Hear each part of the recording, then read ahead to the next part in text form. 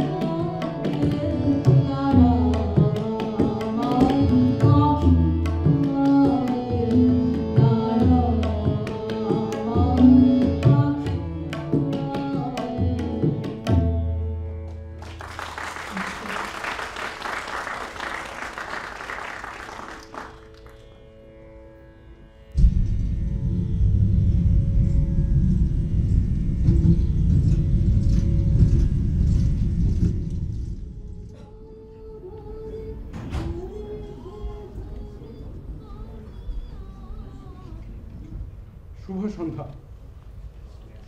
অ্যাক্টোমেনিয়া নাট্যগোষ্ঠীর তরফে আজকের অনুষ্ঠানে আপনাদের সবাইকে স্বাগত জানাই।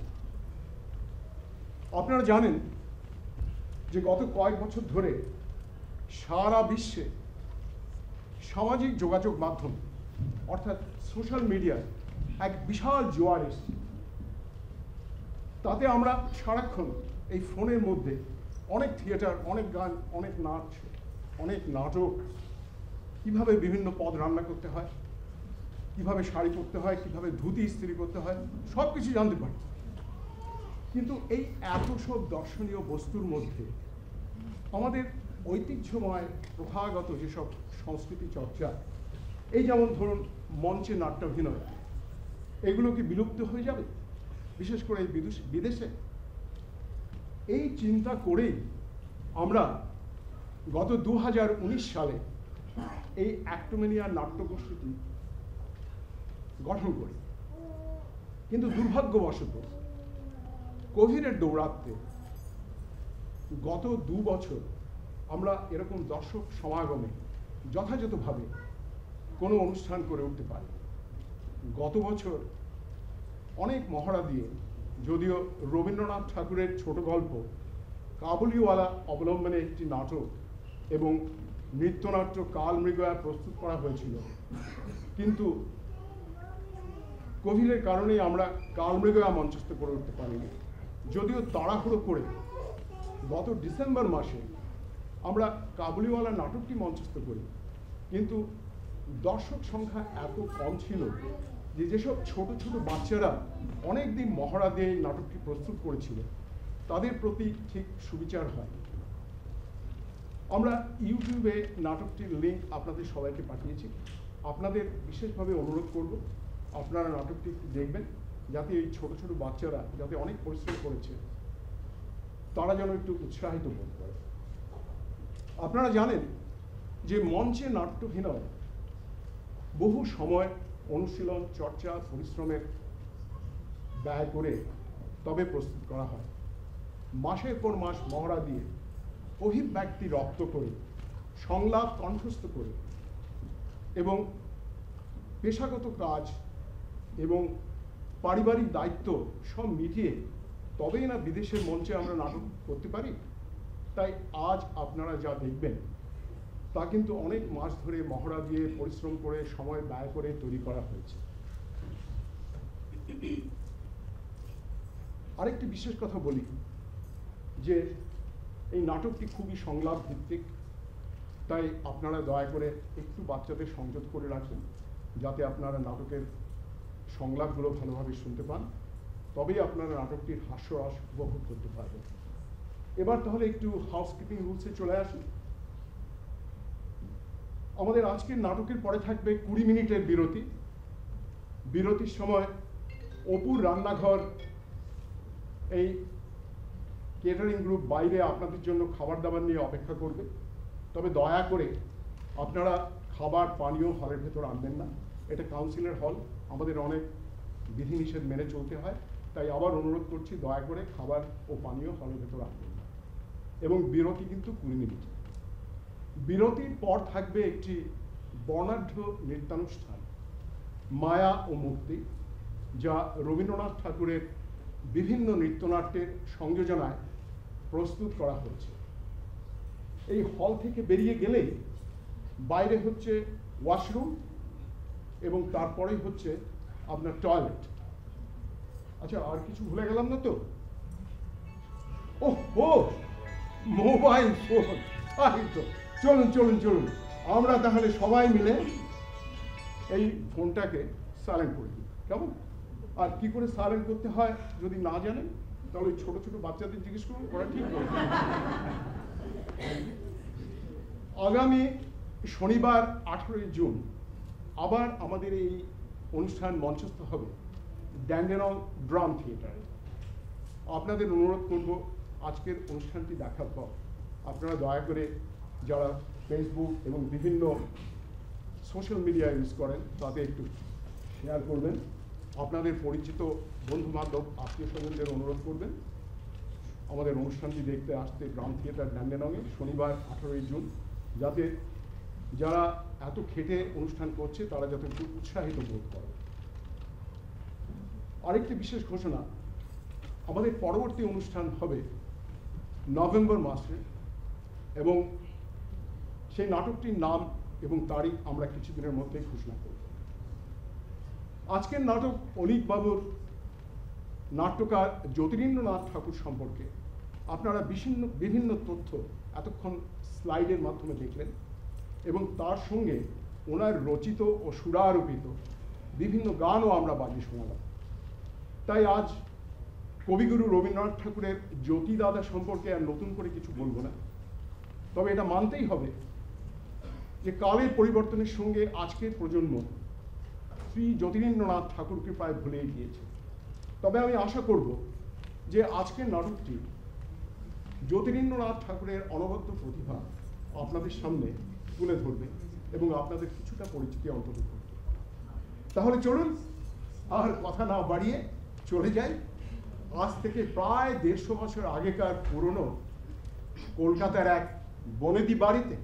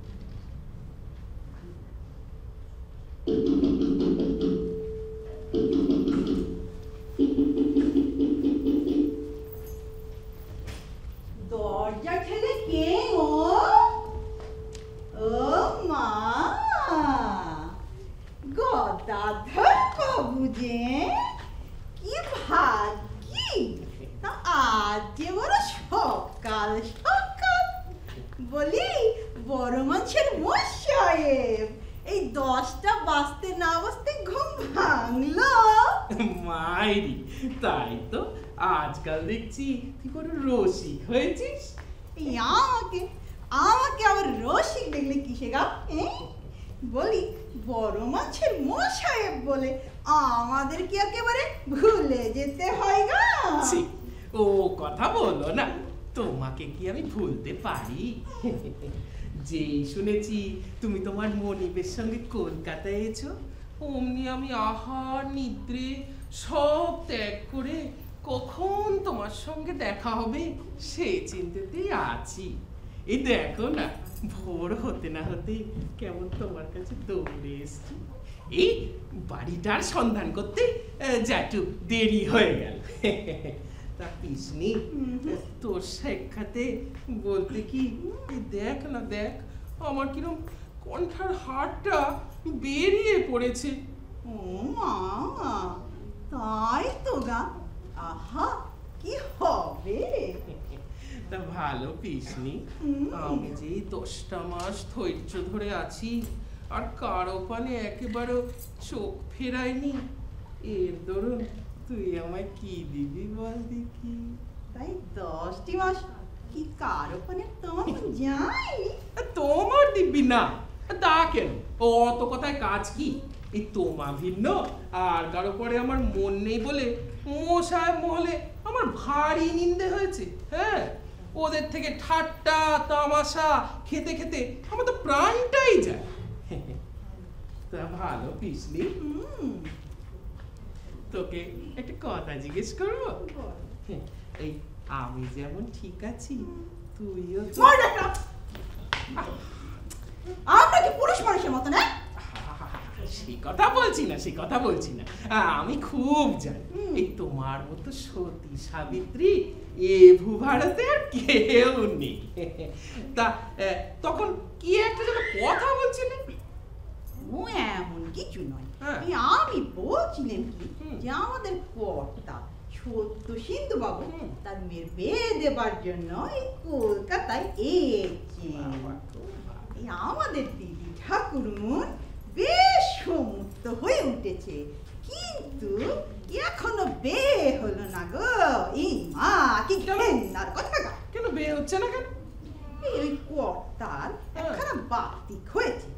মনের মতন বর না পেলে তিনি কখনোই তার মেয়ের বিয়ে দেবেন না তাই এর মধ্যে যে কত বর এলো আর গেল, তা ঠিকানা নেই গো তবে এবার যে ছেলেটির সঙ্গে বেশ সম্বন্ধ হচ্ছে, সে ছেলেটি বেশ ভাগ্যমন্ত্র এই আমরা এখন এই তার বাড়িটিতে আছি বুঝলে হ্যাঁ এই তো এক মস্ত বড় বাড়ি দেখছি আরে মস্ত বই হ্যাঁ। এর আবার দুই মহল ওই এক মহলে হ্যাঁ। বটি নিজে থাকে হ্যাঁ। আর অন্য মহলে।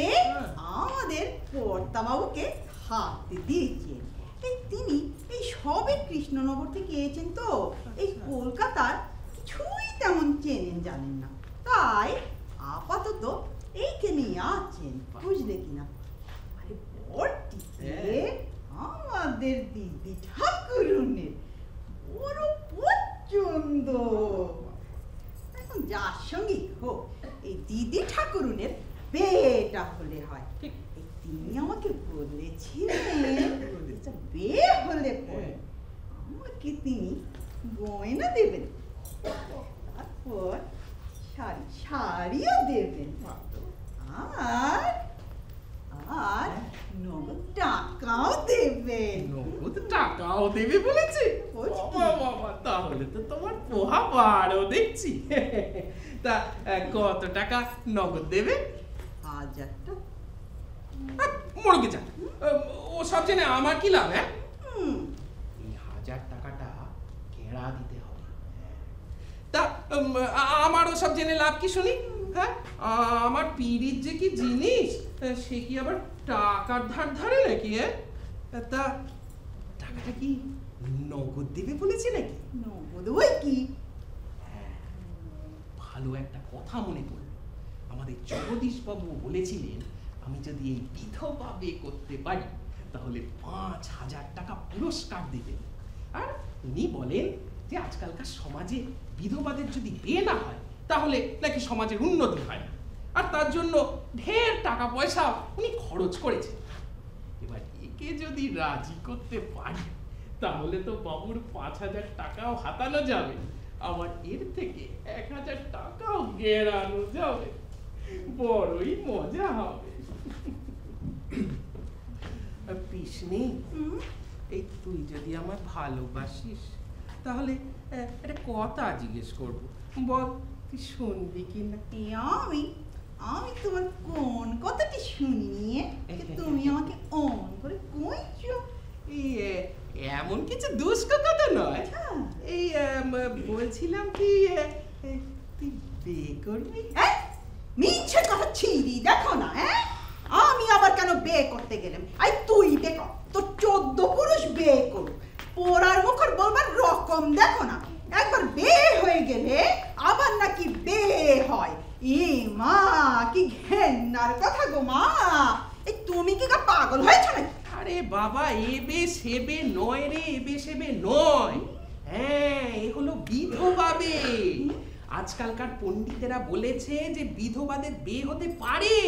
হ্যাঁ আর ওর জন্য তো ঢের সব আইন কানুনও চলছে। হ্যাঁ কেন?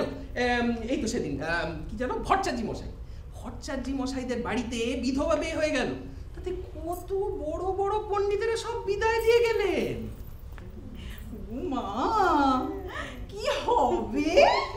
এই বিধবার বিয়ে তবে হতে পারে হ্যাঁ? একদম।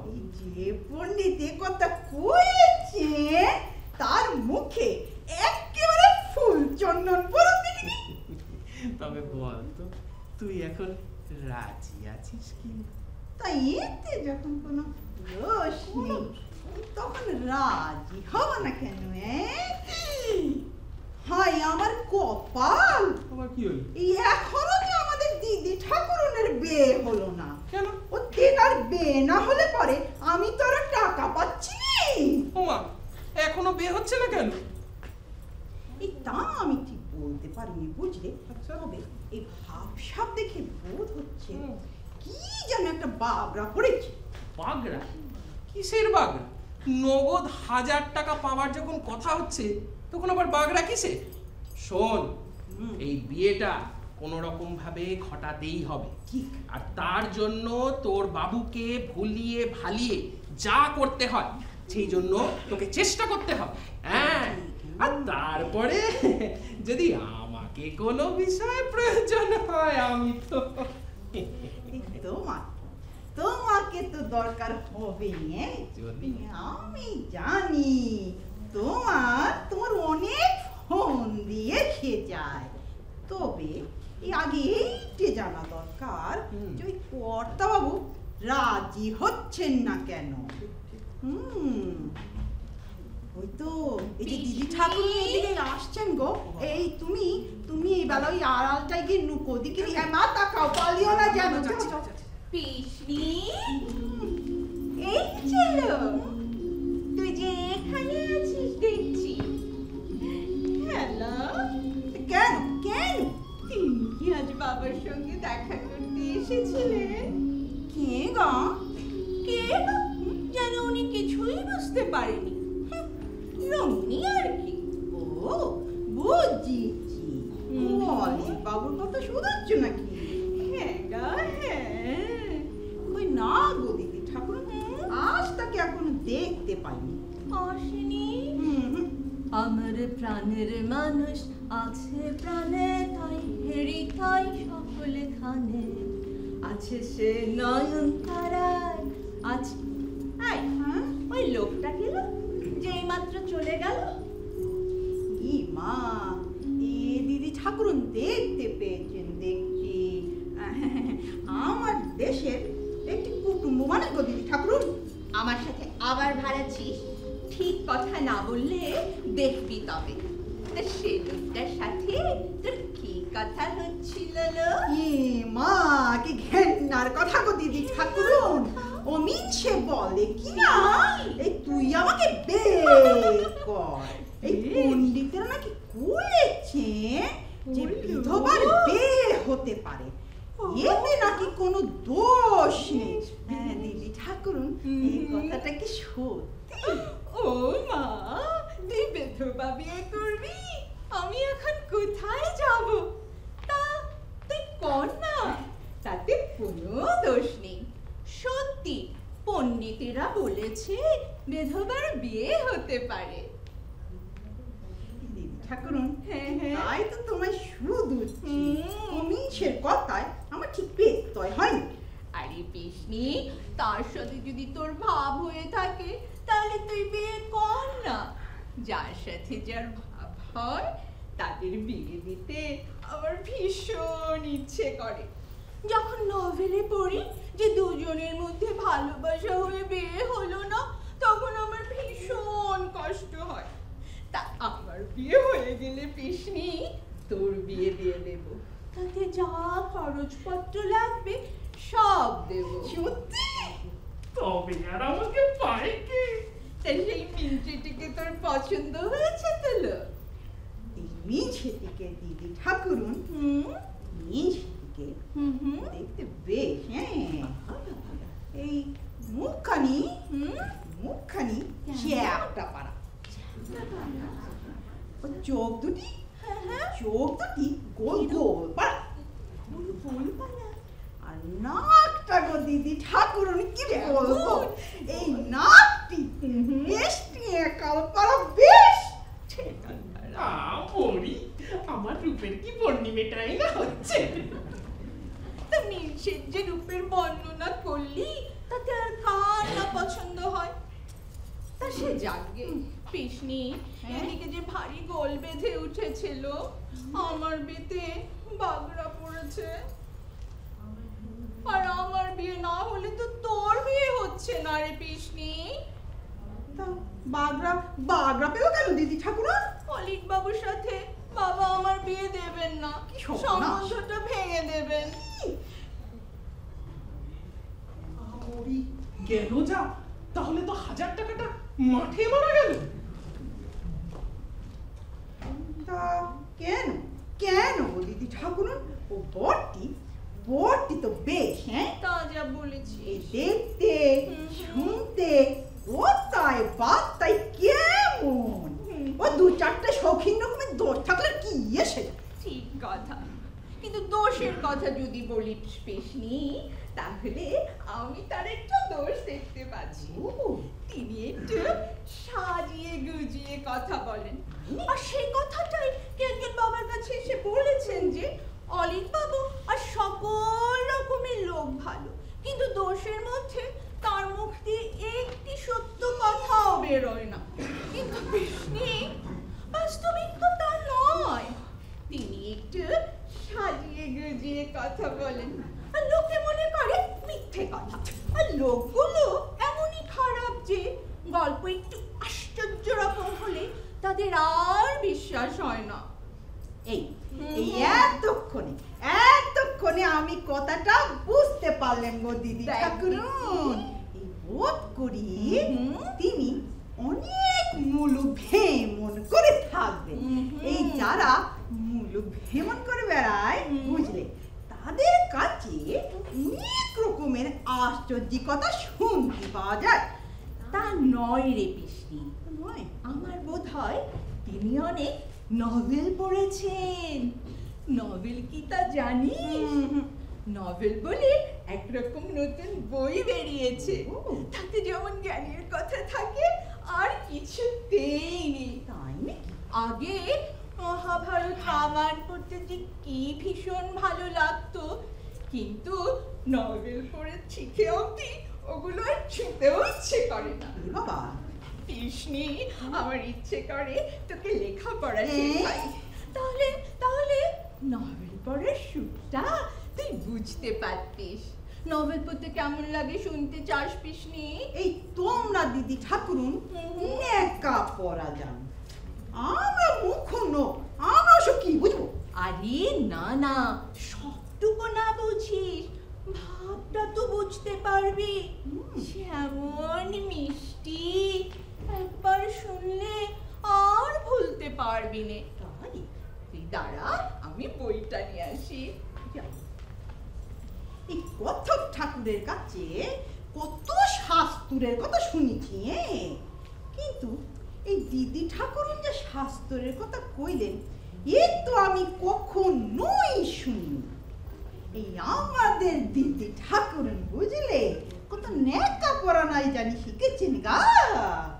এই যে বিষ্ণু হ্যাঁ। দেখ কেমনটা লিখেছে। পড়ো দিদি এখন প্রভাত হইতে কিছু বিলম্ব আছে। এখনও ক্ষীণ চন্দ্র নৈশ গগন প্রান্তে সাগরে নিক্ষিপ্তা বালিকা সুন্দরী ন্যায়। হাসিতেছিল হাসিতেছিল খেলিতেছিল আবার হাসিতেছিল আবার খেলিতেছিল দেখি পিসনি কেমনটা বলেছে তোরা হলে কি বলতিস? হেসে খেলে বেড়াচ্ছিল। দেখ কি সুন্দর।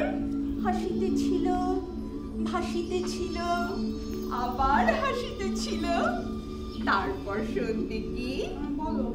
ক্রমে তুষার উষার দু চারটি পাতা নড়িল প্রথমে একটি পক্ষী ডাকিল। তারপর দুইটি পক্ষী ডাকিল। পরে তিনটি পক্ষী ডাকিল। শেষে সকল পক্ষী মিলিয়া গন্ডগোল করিতে লাগিল। কুঞ্জে কুঞ্জে পক্ষীর কলরবের সহিত গৃহে গৃহে ছাতার কলরব উঠিল। কলরব মিশিয়া এক অপূর্ব প্রভাত সংগীত সৃজিত হইয়া প্রাভাতির গগনে সম্মুখিত হইল। বংশীবদন ঘোষের বাড়ির গৃহস্থেরা সকলেই নিদ্রিত। কেবল একটি মাত্র বালিকা সম্মার্জনী হস্তে গৃহ প্রাঙ্গণ পরিষ্কার করিতেছিল। সুন্দরী সুকুমার হস্তে ঝাঁটার যে কি শোভা, তাহা কি পাঠকগণ বুঝিয়াছেন? ছাটে যখন তুমি আস্তাকুরের আবর্জনা রাশির মধ্যে ক্রিয়া করিতে থাকো, তখন তুমি বিভৎস রসের উত্তেজক। যখন তোমার কোমল স্পর্শে কুপিত নায়কের কোপ শান্তি হয়, তখন তুমি শান্তি রসের উত্তেজক। তোমার মহিমার অন্ত কোথায়? তোমাকে প্রণাম। আরে এই দিদি ঠাকুরুন ঠাকুর দেবতাদের কথা শুনলি পরে এই প্রণাম করতে হয়। ওই ওতে ঠাকুরের মহিমের কথা খুব লিখেছে গো। সে কিলো পিসনি তুই কি কিছুই বুঝিসনি? এখানে ঠাকুর দেবতার কথা কোথায় পেলি? ও ছিল না।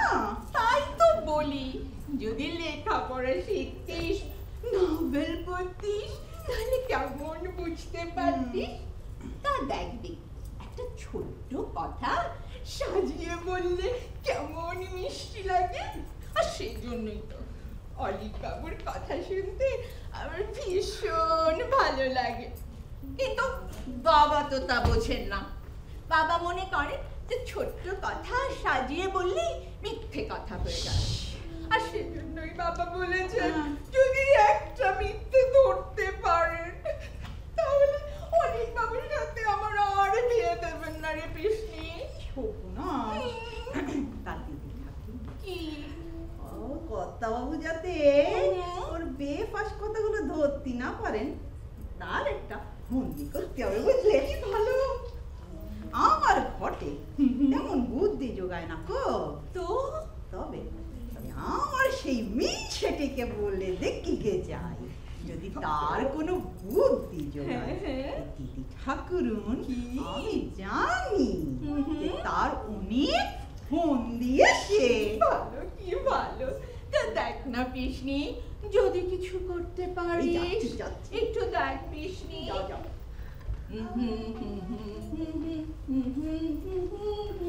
ওগো একবার একটু এদিকে এসো তো গা। এই দিদি ঠাকুরন যা বলছিলেন সব শুনেছ তো? আড়াল থেকে আমি সব শুনেছি। তা পারবে? পারব না। লোকটার ফন্দি আমি দেখব। অলিক বাবু আমাকে দেখতে পাবেন না? অথচ তার কথা আড়াল থেকে আমায় সমস্ত শুনতে হবে। এই কেমন ধাঁচের লোক তার একটু আঁচ আমায় আগে থেকে করতে হবে। আর ফন্দি আমি এমন করব যে স্বর্গ থেকে স্বয়ং ব্রহ্মা এলেও অলিক বাবুর মিথ্যে কথাটি টের পাবে না। হ্যাঁ। তা দেখ ওই ওনারা এলে তুমি ওই ঘরের ভিতরে গিয়ে ঢুকো হ্যাঁ ওখান থেকে তুমি বেশ সব দেখতে শুনতে পাবে। কিন্তু তোমাকে কেউ দেখতে পাবে না। আর ওই পেছনে সিঁড়ি দিয়ে পালাবারও একটা বেশ পথ আছে বুঝলে? কোনো চিন্তা নেই। দেখতে কি আমি কি করি। বাবুর মিথ্যে কথা যখনই ধরা পড়বার জো হবে অমনি তাকে আমায় বাঁচিয়ে দিতে হবে। আর যদি না বাঁচাতে পারি তাহলে তো হাজার টাকাটা মাঠে মারা যায়। দেখো এই বুঝে আমাকে কাজ করতে হবে। ওগো এই এই বেলা ওই ঘরের ভিতরে গিয়ে ঢুকে পড়ো দেখিনি ওই ওই তেনারা আসছেন।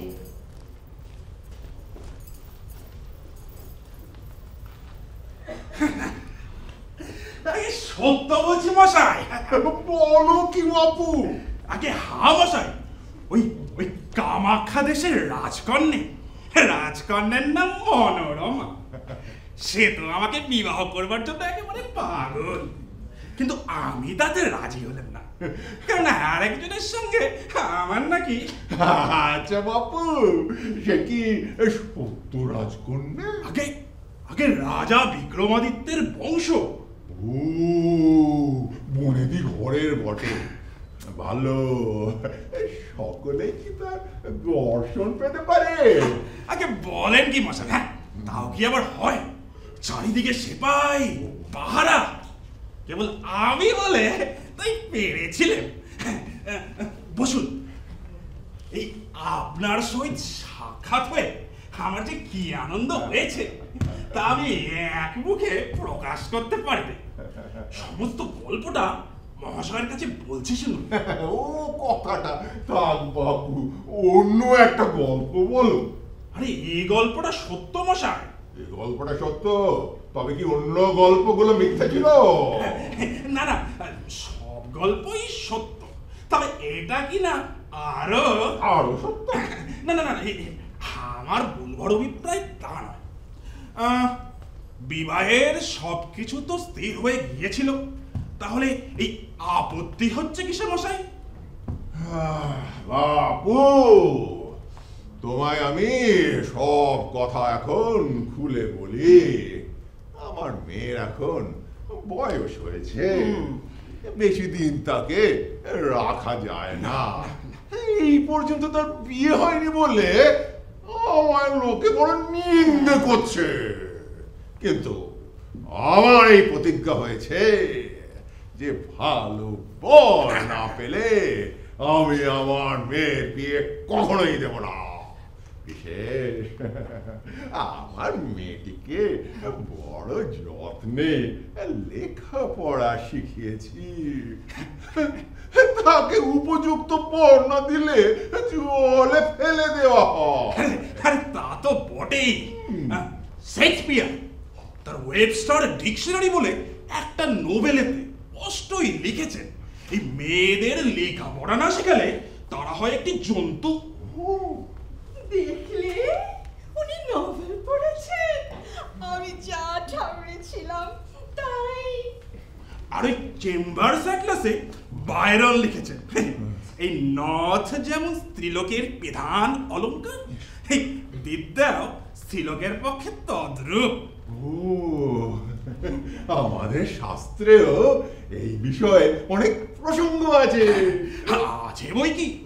আমাদের শাস্ত্র অগাধ জগদম্বা বিশেষ। উপযুক্ত ডুবুরি হলে এই সকল ধনরত্নের সন্ধানই পাওয়া যায়। তা কেন? আমাদের কালিদাস মুক্ত বোধে লিখে গেছে, বিদ্যাহীনানা শোভন্তি বৈশাখে নর বাদরি তুমি সংস্কৃত জানো নাকি বাপু? আপনার আশীর্বাদে কিছু জানা আছে। তা বললে অহংকার করা হয় সেদিন এই তারানাথ বাচস্পতি মহাশয়ের সঙ্গে ব্যাকরণ ঘটিত অনেক তক্র বিতক্র হলো। তা ঝাড়া তিন ঘণ্টা তক্রের পর তাকেও মুক্ত কণ্ঠকে স্বীকার করতে হলো যে আমার মতো অদ্বিতীয় পণ্ডিত এই এই ভূভারতে নেই। বাপু, আমাদের সেকেলে ইংরেজি আর সংস্কৃতের চর্চা বড় ছিল না। এই ফার্সিটাই বেশি চলিত ছিল। সংস্কৃত ও ইংরেজির শাস্ত্রে ছোকরাটির বিলক্ষণ দখল আছে দেখছি। কিন্তু শুধু বিদ্যা থাকলেই তো চলবে না। দেখো বাপু এই পর্যন্ত কত যে বর এলো আর গেল তার আর কোনো সংখ্যা নেই। কিন্তু তাদের মধ্যে কাকেও আমার পছন্দ হয়নি। আরে ভালো বর না হলে এই আপনার মতো লোকে পছন্দ হবে কেন হ্যাঁ? আর এই ভালো বর পাওয়াও তো অদৃষ্টের কর্ম। এ অত কথায় কাজ কি? এই বিষ্ণুপুরের রাজা তার মেয়ের সঙ্গে আমার বিয়ে দেওয়ার জন্য আমায় কত সাদা সিধে করলে? কিন্তু আপনাকে কথা দিয়েছি বলে আমি তাতে কিছুতেই রাজি হলেন না। আমার কেমন একটা বদরোগ আছে যে একবার কথা দিলে আমি আর তাই উল্লঙ্ঘন করতে পারি না। বরং এই দিকে সূর্যি ওই ও দিকে উঠতে পারে, কিন্তু আমার কথার বেঠিক হয় না। তা কেমন? যুধিষ্ঠিরের ঠাকুরদার তাই ভদ্র কিসের? এ তো সচ্চরিত্রের লক্ষণ। যাও বাপু, আজ আমাকে তোমার পরীক্ষা করতে হবে। আমি এই নিয়ম করেছি যে পরীক্ষা না করে আমি আমার মেয়ের বিবাহ দেব না। এই খাপিও না কিছু এমন পরীক্ষা নয়। তোমার কথাবার্তাতেই তোমার যথেষ্ট পরীক্ষা হবে। রাম বলো বাঁচলে আমার কথাবার্তার আবার পরীক্ষা হবে। এমন লম্বা চওড়া কথা শুনিয়ে দেবো একেবারে তাক হয়ে যাবে। হ্যাঁ, বসুন বসুন বসুন। হ্যাঁ, আমি এই পরীক্ষা দিতে রাজি আছি। ভালো তা সেদিন মশাই ভারী বিপদে পড়েছিলেন। কি বিপদ বাপু এই দেখো আবার একটা আশার গল্প জুড়ে বসল। ও পাড়ার ওই বসেদের বাড়ি। আমার আর আমার এক বন্ধুর নিমন্ত্রণ ছিল। তা বাসাই আমরা তো ওই জগন্নাথ ঘাটে গিয়ে নৌকো করলেন। নৌকোয় উঠে খানিক দূর গিয়েছি তখন ঝিকিমিকি বেলা। হঠাৎ করে ওই কোন্নগরের দিক থেকে এক টানা মেঘ দেখা দিলে আর সঙ্গে একটু ফুরফুর করে বাতাস উঠল। তারপর মশাই এক টানা কালো মেঘে পুরো আকাশ ছেয়ে গেল আর আর সঙ্গে আর সঙ্গে কি ভয়ানক ঝড়? যেমন বর্ণনা করছেন তো দেখছি উনি বেশ নোভেল লিখতে পারেন। তারপর মশাই ভয়ানক এমন তুফান আমি কখনো দেখিনি। চারদিক থেকে ওই বড় বড় তাল গাছের মতো ঢেউ আমাদের গিলতে এলে তারপর আমাদের নৌকো ওই ডুবে ডুবে আর কি এমন সময় আমি কোমর বেঁধে দিলেন গঙ্গায় এক হ্যাঁ ওই সাঁতার দেওয়ার অভ্যেসটি ছিল তাই রক্ষে ওখান থেকে এক মারলে একেবারে এসে ওই শালকের ঘাটে দাঁড় তারপর মশাই দেখি জল খেয়ে পেটটা পুরো ঢাক হয়েছে। যাও প্রাণটা তো বাঁচলো। আহা না জানি উনি কত কষ্ট পেয়েছিলেন। তুমি জল খেলে কি করে বাবু যে ডুব সাঁতার ভালো জানে সেটি কখনো জল খায়? আরে একই মশাই ছোট পুষ্করণী? হ্যাঁ একে গঙ্গা হ্যাঁ, তাতে আবার তুফান। ওই এক একবার করে মাথা উঠিয়েছি আর এক ঘটি করে জল খেয়ে ফেলেছি। ভালো ভালো ভালো ভালো। তা তোমার সেই বন্ধুটির দশা কি হলো? সে মরলো না বাঁচলো? তার কথা তো তুমি কিছু বললে না। বন্ধু কে মশাই? আরে এই তো তুমি প্রথমেই বললে আমি আর আমার এক বন্ধু আমাদের ওই পারে নিমন্ত্রণ ছিল। ও বন্ধু? হ্যাঁ। আরে আরে, তার কর্ম তো তখনই সাপ হ্যাঁ। হ্যাঁ। ওই যেমনি গঙ্গায় নৌকা ডুবলো আর সে তখনই অক্কা পেল। আরে সাঁতার না জানলে কি গঙ্গায় রক্ষে আছে বসে? হ্যাঁ। লোকটার খুব মুখ আছে দেখছি হ্যাঁ। বোধ হয় আমাকে আর বেশি কষ্ট করতে হবে না। আপনার কাজ আপনি ফাতে করতে পারেন।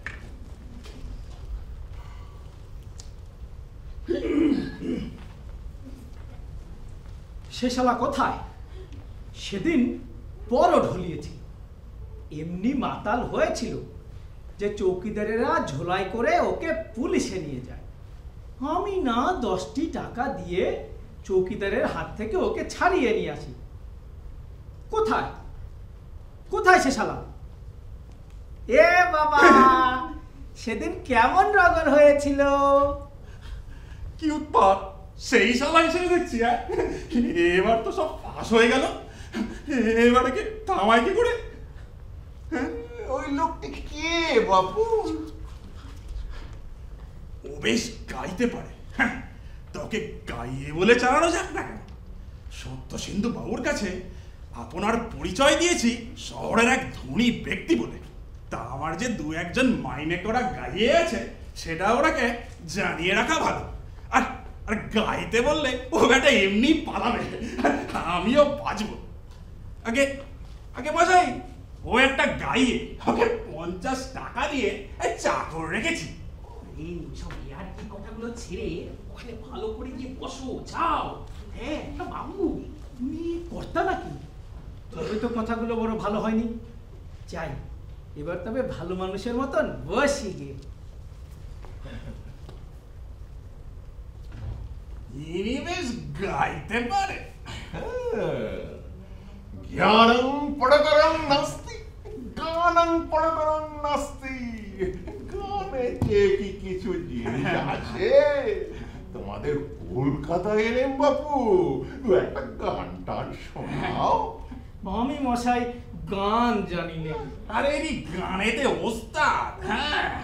তাহলে গাও আমাদের গান গাইয়ে শোনাও। ও, ও, ও। কি ভালো মুশকিলেই পড়লাম দেখছি।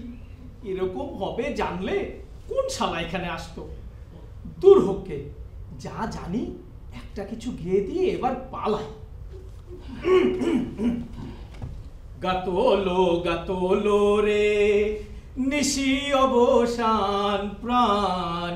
গাতলো গাতলো রে, বাঁশ বনে ডাকে কা মালি কাটে পুইশা গধর পিঠে কাপড় দিয়ে রজক যায় বাগান। ভুতুরা, ভ্যারেন্ডা আদি ফোটে ফুল নানা জাতি। স্ক্যাভেঞ্জারের গাড়ি নিয়ে জয় গারোয়ান। গাতোলো গাতোলো রে। কি মিষ্টি গলা দেখো গলা। ভালো ভালো এরই জোড়া আরেকটিতে সন্ধ্যের বর্ণনা আছে। ওইটি আরও ভালো। হ্যাঁ? সেই গানটি হলো জানকীর প্রতি শ্রীরামের উক্তি। বেশ তাহলে সেই গানটাই গাও হ্যাঁ।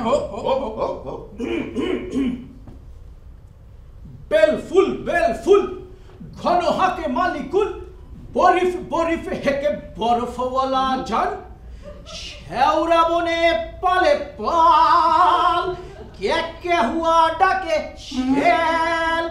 আস্তা করে কিচির মিচির ছুঁচোয় করে গান। হুলো বেড়াল মিয়াও করে, হুলো বেড়াল মিয়াও করে নেংটি ইঁদুর সে খাচ্ছে ধরে, আরে পেঁচা ভাবে আমার খাবার, অন্যে কেন খান?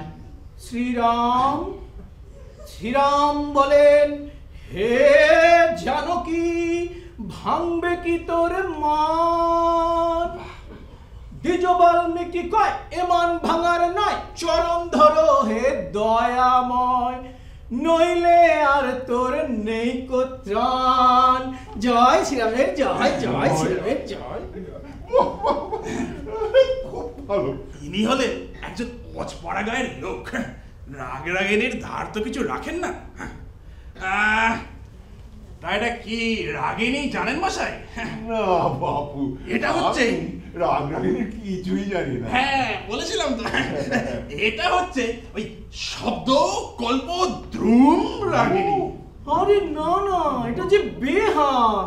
মূর্খ এর বাংলা নাম বেহাক সংস্কৃতে একে এই শব্দকল্প দ্রুম বলেই জানে। হ্যাঁ আর এই হিন্দু সন্তান হয়ে সংস্কৃত না জানাটা বড়ই অপরাধ।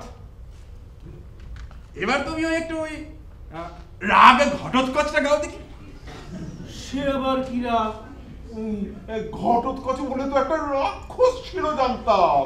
তাকে নিচে একটা রাগ হয়েছে নাকি? আছে বই কি? তবে এ রাগ সকলের আসে না। খুব খুব বড় গাইয়ে না হলে এ রাগ সকলে গাইতে পারে না। শালা তো ভারী উৎপাতে ফেলল দেখছি। ঘট উৎকচ রাখতো আমি কখনো শুনিনি। যা হোক আর এখানে থাকা নয়। এবার পালানো যাক। অলিক বাবু আজ আবার আমার একটু বিশেষ তারা আছে। আমি তবে এবার আসি। আসবে? হ্যাঁ।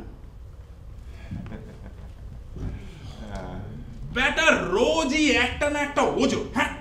পঞ্চাশ টাকা মাইনে দেবো বড় কম নয় হ্যাঁ? রোশ কালই ওকে ছাড়িয়ে এক নতুন গাইয়ে বহল করছি। আহ, আমার বড় আফসোস যে আপনার এই রাগ ঘটোৎকচটা আর শোনা হলো না। আমি পূর্বে হ্যাঁ, আরেক ওস্তাদের কাছে এই রাগটি শিখে করেছিলেন তো যদি বেয়াদবি মাফ হয়েছেটা কি?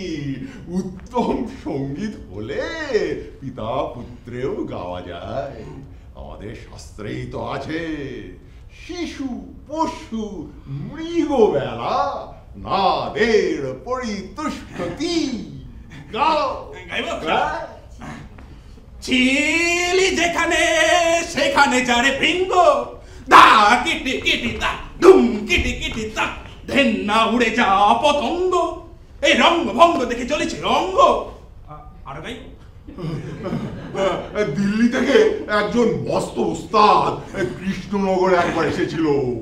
ও, বাপু, এইরকম খিটিমিটি খিটিমিটি করে ও কত যে গান গেয়েছিল।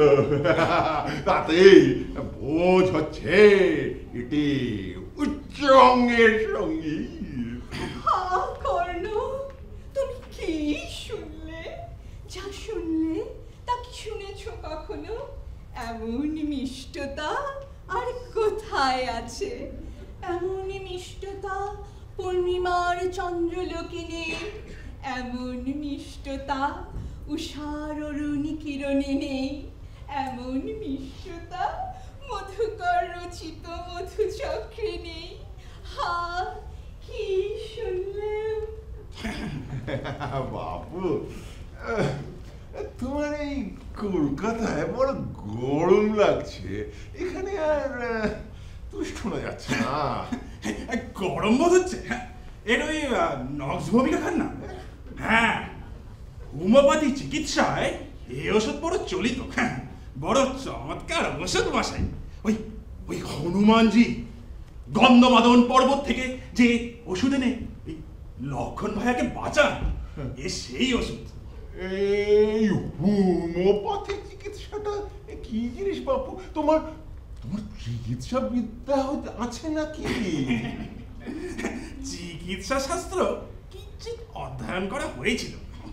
আহ, তাই হোমিওপ্যাথিক চিকিৎসাটা হ্যাঁ, কি জানেন মশাই? আগে এই শাস্ত্রের নাম ছিল হনুমানপন্থী। ক্রমে তাই হোমিওপ্যাথি হয়ে দাঁড়িয়েছে। ইংরেজ ব্যাটাটা বলে এ শাস্ত্রটা কি তাড়াবার করেছে হ্যাঁ? কিন্তু হনুমানজিদের সৃষ্টিকর্তা? এ- কথা তারাও অস্বীকার করতে পারে না। বটে বটে বটে বটে বটে। বাপু, তোমাকে আমি একটা উপদেশ দিই। দেখো ঘরে বসে তুমি কখনো থেকো না। একটা ভালো কাজকর্মের চেষ্টা দেখো। জানি জানি। তোমার অতুল ঐশ্বর্য এ, অভাব কিছুই নাই কিন্তু একটা ভালো কাজকর্ম নিয়ে থাকলে খারাপ দিকে মনটা যায় না গভর্নমেন্টে কাজ করেন এমন কোনো একজন বড় লোকের সম- সম্বন্ধে তোমার আলাপ নেই এই অনারেবল জগদীশ বাবুর সঙ্গে কি তোমার আলাপ আছে? তিনি একজন মস্ত লোক। আরে আরে আরে তার সঙ্গে আবার আলাপ নেই হ্যাঁ? বিলক্ষণ আছে। আরে রোজই সাক্ষাৎ হয়। আর তার বাড়িটি বড় চমৎকার মশাই। বাহ। এই দেখো আর একটা মিথ্যে কথা বলে। আরে আমি হলাম জগদীশ বাবুর মশাই। কোথায়? কোনোদিনও তো এনাকে আমাদের বাড়ি যেতে দেখিনি এই জগদীশ বাবু দুটি কর্ম এই আমার জন্য রেখেছে হয় ওই বাঙাল ব্যাংকে নত ওই টাকসালের দিওয়ানি পথটা তিনি সাহেব সুবোধের বলে এই আমার নামে করে দেবেন। এখন আমার ওই দুটির মধ্যে যেটি পছন্দ হয়। আর এই জগদীশ বাবু স্পষ্টই বলেন যে অলিক প্রকাশের মতো বিদ্যান বুদ্ধিমান, সচ্চরিত্র সত্যবাদী লোক শহরে অতি অল্পই আছেন তা বাস্তবিক। অলিক বাবুর মতো লোক আমি আর কোথাও দেখিনি। যে পৃথিবীতে গোলাপে কণ্টক আছে, বিদ্যুতে বজ্র আছে, পুষ্পকলিকায় কীট আছে, প্রতি পদে অলিকতা সঠতা কুটিলতা। অলিক বাবু সে পৃথিবীর লোক নন। তা বাবু তুমি এইরকম সুবিধে পেয়ে এখন বাড়িতে বসে আছো? এসো এসো এসো। চলো এখন আমরা জগদীশ বাবুর বাড়িতে যাই। আহ, দাঁড়াও দাঁড়াও আমিও তোমার সঙ্গে যাব। এই দুটির মধ্যে একটি কর্ম যাতে তোমার শীঘ্র হয় তার জন্যে বিশেষ চেষ্টা করতে হবে তো। চল বসুন বসুন বসুন। এই সবে আপনি এখানে এসেছেন হ্যাঁ? এর মধ্যে এই কাজকর্মের ঝঞ্ঝাটে যাবেন হ্যাঁ? তা আমার এই বাড়িটি আপনি কেমন পছন্দ করেন? হ্যাঁ, খুব ভালো। ওই বিডিএন স্কোয়ারের সামনে আমার আরেকটি মস্ত বাড়ি আছে। হ্যাঁ তবে সে বাড়িটি তৈরি করতে আমার বিশেষ খরচ হয়নি। হদ্দ পাঁচ লাখ টাকা। খরচের মধ্যে একটা হলো মিথ্যে কথা বল। আর সে বাড়িটি বড় চমৎকার মশাই। আগাগোড়া নতুন বড় বড় ঘর আর সব রকম সুযোগ সুবিধে আছে হ্যাঁ। সত্যি নাকি?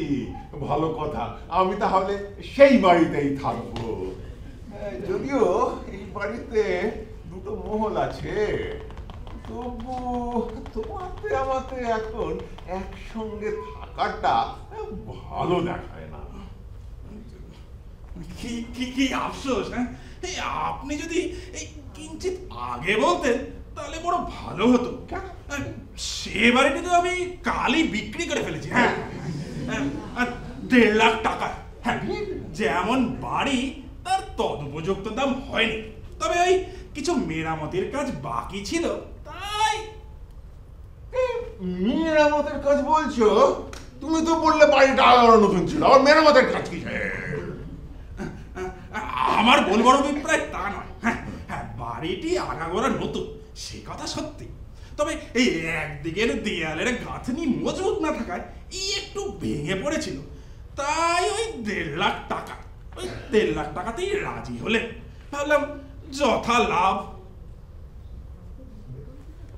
বাড়িটা বিক্রি করলে তুমি কাকে বাপু? যাকে বিক্রি করেছি তার নাম লাটু ভাই। হ্যাঁ? মস্ত ধনী লোক হ্যাঁ আগে একজন মস্ত বড় দালাল ছিলেন। হ্যাঁ, এখন হ্যাঁ, বড় বাজারে একটা জুয়া খেলার আড্ডা করেছে।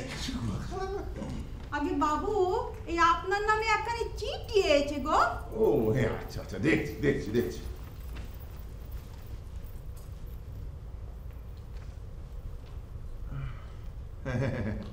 ও সেই টাকাটা দিতে হবে বটে। সেই হুন্ডিগুলো কোথায় রাখলাম সেটা দেখি। আচ্ছা।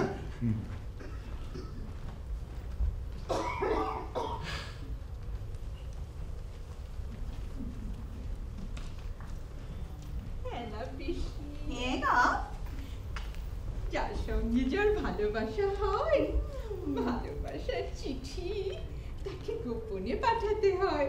ও তাই বুঝি? তুই যদি লেখাপড়া জানতিস নোভেল পড়তিস তাহলে এসব কেমন বুঝতে পারতিস? তা দেখ দেখি আমি একটা চিঠি লিখেছি। কেমন হয়েছে? শোন দেখি তা তোমরা দিদি ঠাকুরুন লেখা পড়া জানো হ্যাঁ। তা তোমরা চিঠি পাঠাবে বই কি? আমরা মুখ নোখ আমরা তো কি জানি? তা শোন না কেমন হয়েছে শোন? আচ্ছা পড়ো দেখিনি। স্বামী কি বলিলাম?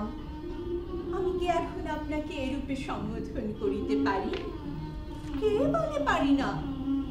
অবশ্য পারি। সমাজ ইহার জন্য আমার তিরস্কার করিতে পারে। পৃথিবীর সকল লোক আমার নিন্দা দেশে বিদেশে পরিঘোষণা করিতে পারে। কিন্তু এরূপ সম্বোধন করিতে কেহই আমাকে বিরত করিতে পারিবে না। আমি জগতের সম্মুখে চন্দ্র সূর্যকে সাক্ষী করিয়া মুক্ত কণ্ঠে বলিব, তুমি আমার স্বামী। শতবার বলিব, সহস্রবার বলিব, লক্ষবার বলিব তুমি আমার স্বামী একবার সেই মুখখানি দেখিব, নয়ন ভরিয়া দেখিব, দেখিতে দেখিতে মরিব। হ্যাঁ? এ পৃথিবীতে আমার আর কোনো সাধ নেই। তোমারই বালাই সাপ, তুমি দিদি ঠাকুরন মরবে কেন হ্যাঁ? এরকম অলক্ষণে কথা কি বলতে আছি গা। এই যার কেউ নেই। সে তুমি মরবে কেন। সাপ আর বোকা কোথাকার আমি কি সত্যি সত্যি মরতে যাচ্ছি? দুরো ভালোবাসার চিঠিতে এগুলো লিখতে হয়। তুই যদি লেখাপড়া জানতিস নভেল পড়তিস তাহলে কেমন জানতে পারতিস? তা দেখি। এই চিঠিটা কোনো রকমে বাবুর হাতে দিতে পারিস? তা দিদি ঠাকুরুন পারব না কেন। আমি এখনই নুকিয়ে দিয়ে আসব কোন দেখিস। কেউ যেন টেন না পায়। না ওই যে ওইদিকেই বোধহয় অলিক বাবু আসছে। আমি যাই। দেখিস বাবা যেন টেন না পায়। দেখিস কিন্তু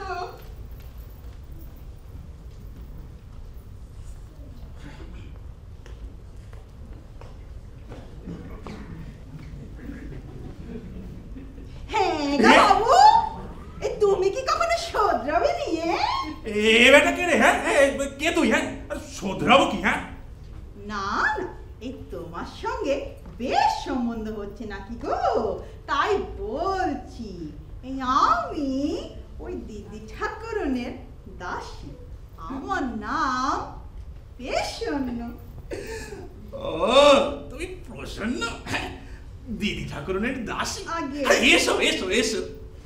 তোমার দিদি ঠাকুরনের কাছে আমি কি দোষে অপরাধী? যে তুমি আমায় শোধরাবার কথা বলছো? তোমার দিদি ঠাকুরন বই আমি তো আর কাউকে জানি নেই না তা নয় গো বাবু। ওই কর্তাও বলেছেন যদি আজ রাত্রির মধ্যে একটি এই তোমার একটা মিথ্যে কথা হ্যাঁ? ধরা পড়ে তবে তিনি তার মেয়ের সঙ্গে তোমার বিয়ে দেবেন না কো। হ্যাঁ? আমার মিথ্যে কথা? আমি আমি মিথ্যে কথা কই। এই অপবাদ কে দিলে? আমার মতো মিথ্যেবাদী সত্যবাদী? আরেকটা খুঁজে বার করা দেখিনি। বেশ বেশ। না না তা নয় গো বাবু। এ বলছি কি এই সব কথা গুলো অত ডাগর ডাগর করে না বলে একটু খাটো খাটো করে বলতে পারো। ওই আমাদের কর্তা বাবু বুঝলে কি না? অত ডাগর ডাগর কথা পছন্দ করেন না। কথা কি সবসময় ছোট হয়? হ্যাঁ।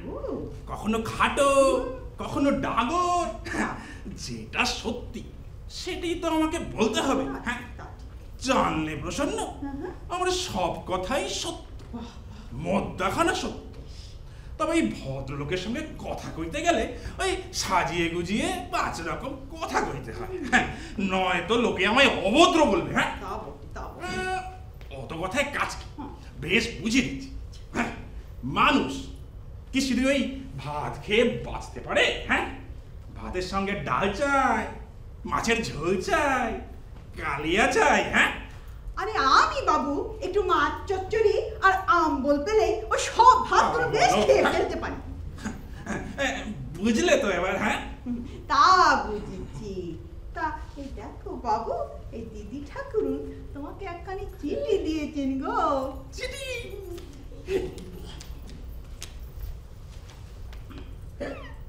এর মধ্যে স্বামী গাছে না উঠতে এক কাঁদি। তা হয়েছে ভালো মেয়েটা দেখতে মন্দ নয়। আর সত্য সিন্ধু বাবুর টাকাও ঢের। না, মেয়েটার তো পছন্দ হয়েছে।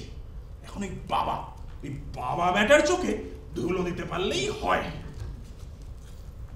মেয়েটার পেটে কিছু বিদ্যে আছে দেখছি। যেমন লিখেছে, আমার চোদ্দ পুরুষও এমন লিখতে পারবে না। মেয়েটা দেখছি আমার প্রেমে একেবারে মজে গেছে। আমাকে তো দেখতে মন্দ নয় হ্যাঁ? বুঝবেই বা না কেন? জানলে প্রসন্ন। তোমার দিদি ঠাকুরনকে বলো। সদা সর্বদা অষ্টপ্রহরী। আমি তোমার দিদি ঠাকুরনের ধ্যানে মগ্ন। বাবা। আবার তাতে এখন বসন্তকাল। বসন্তকালের কি বিরহ যন্ত্রণা, সে তো তুমি জানো প্রসন্ন। যখন কোকিল কুহু কুহু করে ঝঙ্কার দিয়ে ওঠে, তখন গুম গুম শব্দে আমার প্রাণে কে কিল মারতে থাকে। আর যখন ওই চাঁদের জোছনা ওঠে, তখন এমন গরম হয়ে ওঠে শরীরটা একেবারে শিক্ষাভাব হয়ে যায়। আর গা ময় মস্ত মস্ত সব ফুসকা। ফুসকা? আর যখন আমি রাতে বিছানায় শুই একবারে পাঁচ একবারে পাঁচ ছটফট করতে থাকি। কে বলে বিছানা বিছা না প্রসন্ন সে বিছাই বটে। কটমট করে আমায় কামড়াতে থাকে। আমার এই ভয়ানক যন্ত্রণার কথা তুমি তোমার দিদি ঠাকুরনের কাছে নিবেদন করো প্রসন্ন। আর আর যদি তার দর্শন পাওয়া যায়, তবে তো আর কথাই নেই। তোমার দিদি ঠাকুরনকে বলো, আমি কৃষি তো চাটকিনীর ন্যায় তার জন্য উপেক্ষা করছি। হ্যাঁ? তা বলব বাবু, বলব বলব।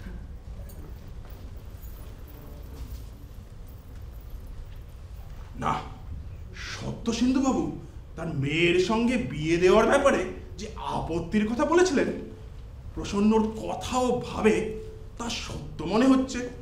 না, এবার খুব সাবধানে কথা কইতে হবে। কিন্তু আমার কেমন একটা বদ্র হয়ে গেছে যে মিথ্যে কথাগুলো মুখ থেকে এমনি বেরিয়ে পড়ে বলবেন না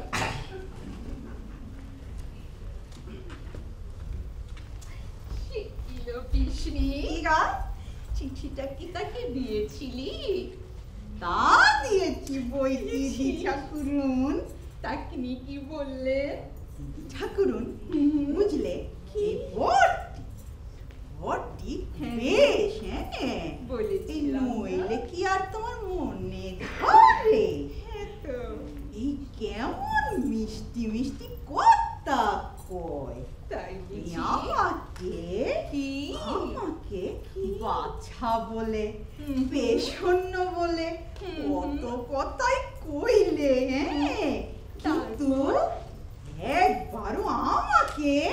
কৃষ্ণি বলেননি পিসনি বলেনি তা আমার কথা কি বলল তা বল না। আহা আমি কি সেসব বুঝতে পেরেছি? বুঝিসনি তিনি কত নেকা পড়ার কথা কইলেন হ্যাঁ? এই কোকিলের কথা কইলেন। কোকিলের কথা? তারপর চন্দর সূর্যির কথা কইলেন। আরও কত কি? কি? কিন্তু একবারও আমাকে পিসনি বলে ডাকেননি। আমারও। পেশন্য পিসনি বলেনি বলে এই আল্লাদেই উনি গেলেন আর কি। আমার কথা কি বলল?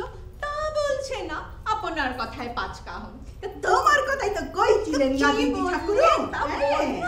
আহা কি ভালো মানুষের ছেলে। কত করতে লাগল গা এই বললে এই গরমে? গরমে তার গায়ে নাকি ফসকা পড়েছে ফসকা?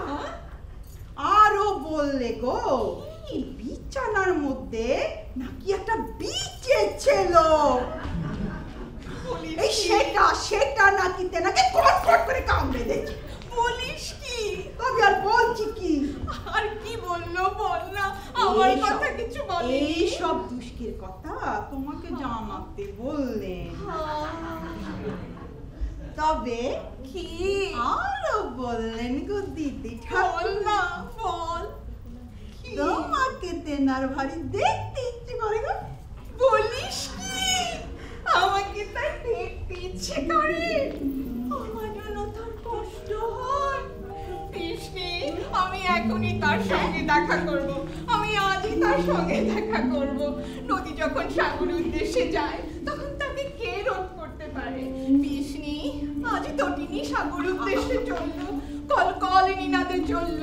দেখি কে তার গতিরোধ করে। কৃষ্ণি তুই তাকে খবর দে। বিষ্ণি তুই তাকে খবর দে। আমাকে দেখবার জন্যে না জানি তিনি কত অধীর হয়ে আছেন। কৃষ্ণি খবর দে। তা যাবে আগে শোনো দেখি।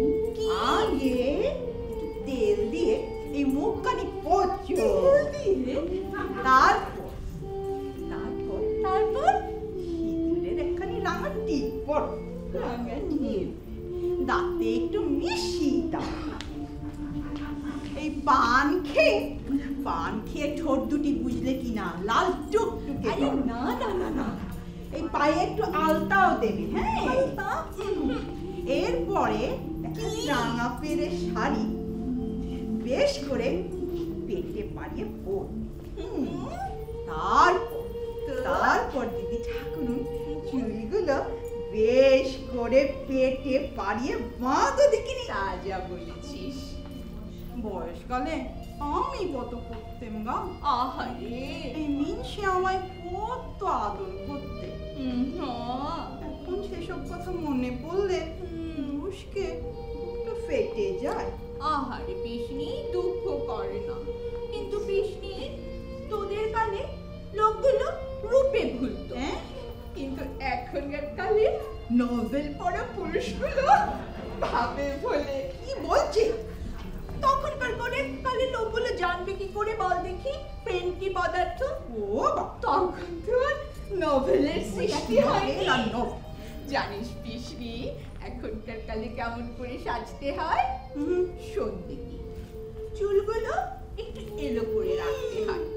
তারপর আকাশ মানে তাকিয়ে বুকে হাত দিয়ে বেড়াতে হয়। ঠিক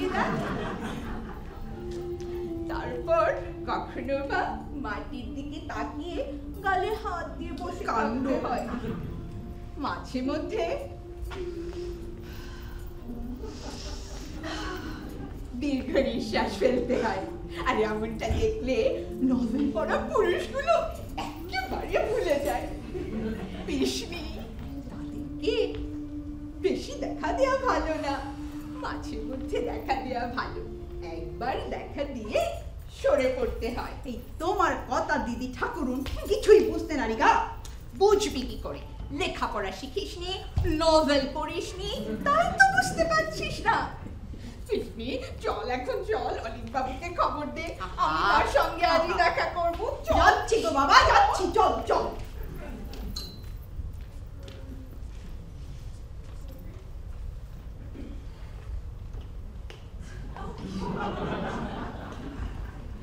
প্রসন্ন বললে তার দিদি ঠাকুরুন আজ আমার সঙ্গে দেখা করতে আসবে। একটু আগে যদি খবর পেতাম তাহলে একটু ভালো করে সাজগোজ করতে পারতাম তবে যা করেছি, তাতেই মাত হবে।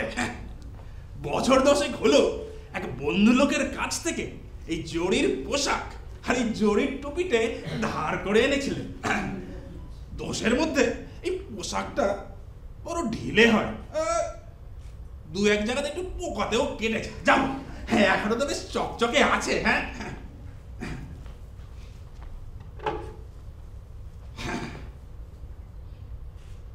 বাহ, কি চেহারা। এখন সে এলে হয়। মল ঝমঝম করে ওই নাকে নথ দুলিয়ে যখন ঘুমটার ভেতর থেকে নয়নবান মারতে মারতে গজেন্দ্র গমনে আসবে, তখন একেবারে খুন খারাপই হবে হ্যাঁ?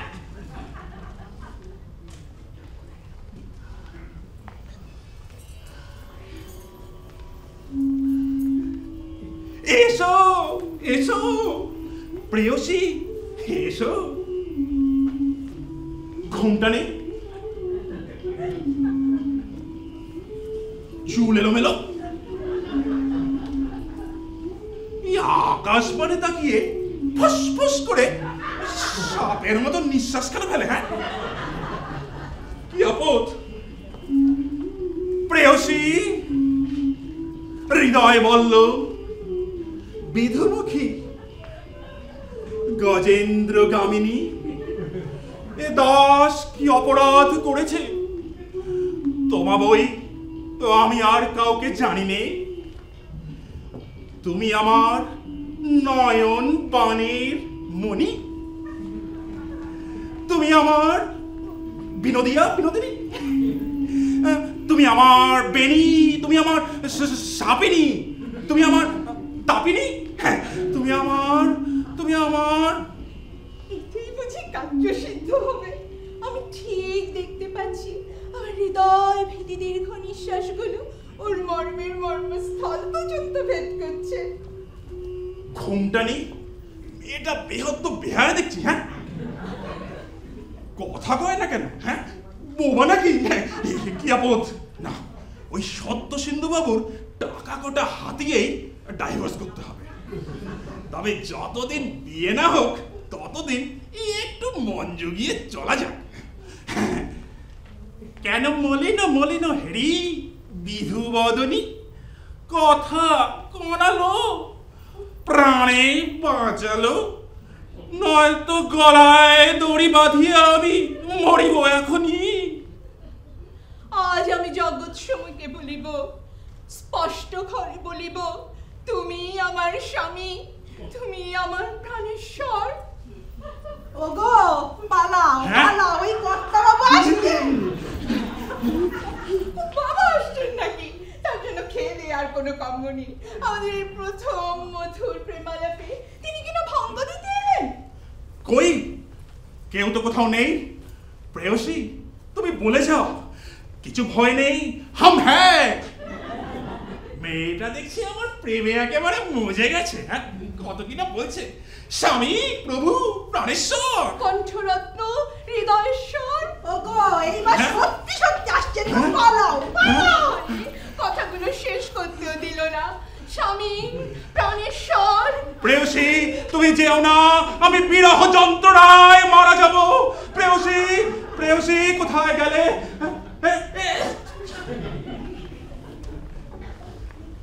আমার কাছে দেখছি এখন বেশি টাকা নেই। ভালো কথা। কি সেজেছো? নাটক করতে যাচ্ছ নাকি? ছেলে মানুষ ভালো কথা বাবু অনেক প্রকাশ আমার এই হাজার টাকার মতন প্রয়োজন হয়েছে। এখন আমার হাতে তো টাকা নেই। তুমি যদি হ্যাঁ? হাজার পয়সা নেই হাজার টাকা। আমার কাছে তো এখন অত টাকা নগদ নেই। হ্যাঁ বলো কি? এই তো এই তো তুমি বাড়িটা বিক্রি করলে তার টাকাটা কি হলো হ্যাঁ? আমার বাড়ি? হ্যাঁ হ্যাঁ, হ্যাঁ, তাহলে আসল বৃত্তান্তটা শুনবেন? আপনার কাছে লুকিয়ে আর লাভ কি বলুন? আমার বাজারে কিছু ধার ছিল। তাই ওই বাড়ি বিক্রির টাকা দিয়ে হ্যাঁ, আবার হয়েছে কি মশাই? ওই চুনিলাল বলে যে ঘরটার কাছে বাড়িটা বিক্রি করেছিলেন? চুনিলালটা কোথা থেকে হ্যাঁ? তুমি তো এক লাটু ভাইকে বাড়ি বিক্রি করেছিলে। ওই হ্যাঁ হ্যাঁ ওই আহ, চুনিলাল লাটু ভাই। বেশ জুগিয়ে বললে বাবা শোন বিষ্ণু নিচে ঘর ভাড়া করে একটা বহুরূপী বাস করছে। হ্যাঁ ওর সঙ্গে আমারও বেশ আলাপ পরিচয় আছে। আমি কি এই লাটু ভাই সেজে তামাশাই এই ভদ্রলোক আগে একজন মস্ত বড় দালাল ছিলেন তারপর কাজকর্ম ছেড়ে বড় বাজারে একটা জুয়া খেলার আড্ডা করেছে। তামাশাই এই ভদ্রলোকের কাছ থেকে আমি পূর্বে কিছু টাকা ধার করেছিলাম। তা সে যখন আমার বাড়িটা কিনলে ওই বাড়ি বিক্রির টাকায় আর ধারের টাকা শোধবোধ হয়ে গেল। কত তার ধার ছিল? আম, এক লাখ টাকা। এক লাখ টাকা? তুমি তো দেড় লাখ টাকায় বাড়িটা বিক্রি করেছিলে। তাহলে তো ওর কাছ থেকে তোমার পঞ্চাশ হাজার টাকা পাওনা আছে। বাপু অনেক প্রকাশ, তোমার ওই বাড়ির গল্পটি আমার সর্বৈব মিথ্যে বলে মনে হচ্ছে। আমার বেশ প্রত্যয় হয়েছে। যে এই লাটু ভাই না কি ভগবান জানেন কি ভাই যে লোকটি নাকি তোমার বাড়ি কিনেছে সে তোমার কল্পনা বই কিছু বলেন কি বসাই হ্যাঁ তা- কি কখনো হয় হ্যাঁ? হ্যাঁ? আমার কল্পনা আমি কি মিথ্যা কথা বলবার লোক হয়তো তুমি মিথ্যা দিয়ে এই হ্যাঁ? এই লাটু ভাই না কি জানি একজন লোক দেখা করতে হ্যাঁ? গো হ্যাঁ? হ্যাঁ এ কে রে জয় রাম জি কি জয় রাম জি কি মশা আমাকে একটু মাফ করতে হবে আমি আপনাকে একটু দেখ করিতে আসিয়াছি আমার একটা দস্তুর আছে কি গাড়ি কাম পিছে সালাম আমি মশার গোলাম হাজির আছে এ- একটু উঠতে আজ্ঞা হয় এই হলিক বাবুর সাথ আমার কুছ বাতচিত আছে মশাই এই গোপন কথা আছে নাকি আমি अरे তাহলে- नहीं नहीं गोपन कुछ नहीं अब बैसो ना बैसो बैसो ए बेटा के रे हैं भला अलीक चंद्र बाबू हम वो जानने को आया है कि आप ये बारी को बात खत्म करेगा कि नहीं আমার বাড়ি? আরে হ্যাঁ বাবু। আরে জো বাড়ি আপনি আমাকে বিক্রি করিয়াছেন ও বাড়ির কথা বলছি। হ্যাঁ এখন তো ও বাড়ি আমাকে দখল দিলাতে হবে কি না এবার বুঝিয়েছেন কি না মশা? জলদি কাম শেষ করিয়া ফেলুন মশা। আমার এই দস্তুর আছে কি আগাড়ি কাম পিছে সালাম। আশ্চর্য আমি কি স্বপ্ন দেখছি হ্যাঁ? আমি তো এর কিছুই বুঝতে পারছি না। দেখা যাক কদ্দূর যায়। তা বলছিলাম কি, এই এত অল্প দামে? অল্প দাম? সদা ঠিক হয়ে গেছে। আবার দামের আবার কি ফের ফার হয় নাকি হ্যাঁ? আর টাকা ভি আমার কাছ নগদ আছে। যখনই চাবে তখনই দিয়ে দেবো।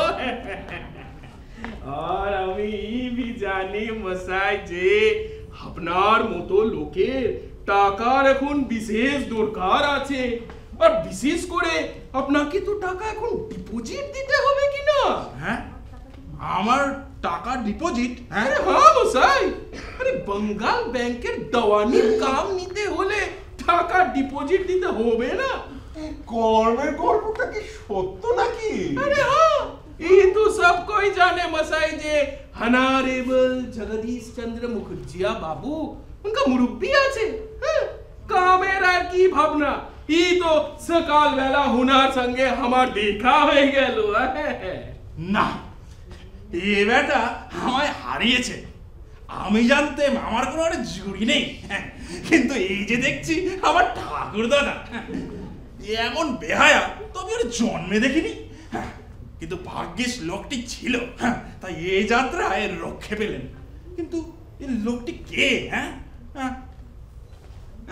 ভালা ও জি এখন মোসাই আমি তবে আছি আমার আবার দপ্তর মে বহুত কাম পড়ে আছে আরে কামের সময় এসব ঝুট মুট কা বাতচিত আমার আচ্ছা না কারণ আমি জানি মশাই যে अगाड़ी का पीछे सलाम जय राम जी की जय राम जी की এ বেটার মতো মিথ্যেবাদী তো আমি আর জন্মে দেখিনি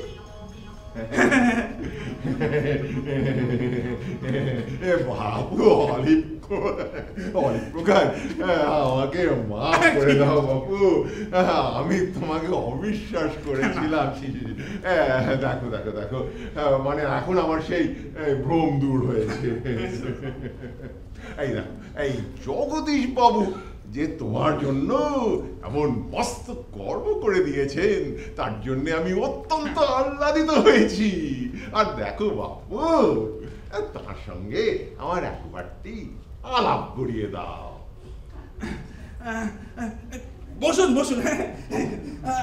আজ আজ কি কি বার বলুন তো? ও, আজ হ্যাঁ রোববার না? হ্যাঁ। আরে, রোববার তো জগদীশ বাবু ওনার ওই উল্টো ডিঙির বাগানে আছে সেই জায়গাটা বড় চমৎকার মশাই। একেবারে ঠিক গঙ্গার উপর। আর কাছেই একটা মস্ত বড় জাম গাছ আছে। আর এই জগদীশ বাবু খুব জাম ভক্ত। সেদিন দেখলাম ওই দুশো জাম একাই খেলেন। আর এই জগদীশ বাবু খুব দাবা খেলতে ভালোবাসে হ্যাঁ। তা তার সাথে সেদিন এক বাজি খেলা হলো। চালেই মাঠ কিন্তু বাপু আজকে তো জগদীশ বাবু তার বাগান মাটিতে যাননি। কেন? কেন না তোমার এই যে বন্ধু যে একটু আগে এলো কি নাম তার? ওই লাটু ভাই না ফাটু ভাই না? যাই হোক সে তো বলল তাকে আজ সকালে কলকাতায় দেখেছেন। হ্যাঁ, তাহলে তুমি এইখানে আছে চলো চলো চলো। ওনার সঙ্গে এখন হ্যাঁ, দেখা করা যাক। চলো চলো চলো চলো চলো।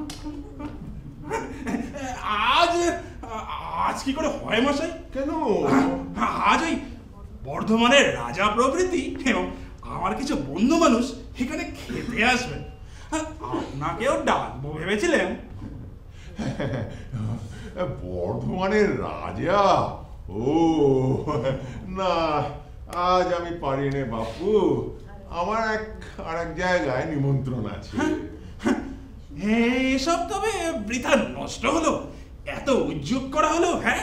হ্যাঁ পোলাও কালিয়া কোপ্তা ক্ষীর দই মিষ্টি সব নষ্ট হলো দেখছি। এই তো দেখছি সর্বৈব মিথ্যে কথা। সব পোলাও কালিয়া বোধহয় এখন বানিয়ে তৈরি করে আনা দরকার। কি জানি যদি আবার কাজে লেগে যায়। আর আমাদের বাবুর বাড়িটাও তো এ বাড়ির একেবারে লাগোয়া। বাপু তোমার হলো কি? মানে চলো এ, বাড়ি থেকে বেরোতে তোমার এমন আলস্য কেন? চলো। এককালে আমার বাপের সঙ্গে জগদীশ বাবুর আলাপ ছিল শুনেছি। কিন্তু আমি তো তাকে কখনো চোখে দেখিনি। এখন করি কি? আরে আলিস্য কি মশাই? হ্যাঁ? আপনার কাছে দেখছি প্রকৃত সত্যটা না বললে আর চলো না। না মশাই আজ আমি বাড়ি ছেড়ে নড়তে পারব না। কেন? হ্যাঁ, তাহলে আপনাকে আসল কথাটা বলি। হ্যাঁ, একজন বলে গেছে সে আমার বাড়িতে এসে আজ আমায় মারবে। হ্যাঁ? আর আমি যদি এখন বাড়ি ছেড়ে চলে যাই সে ভাববে আমি বাড়ি ভিতু তাই পালিয়েছি।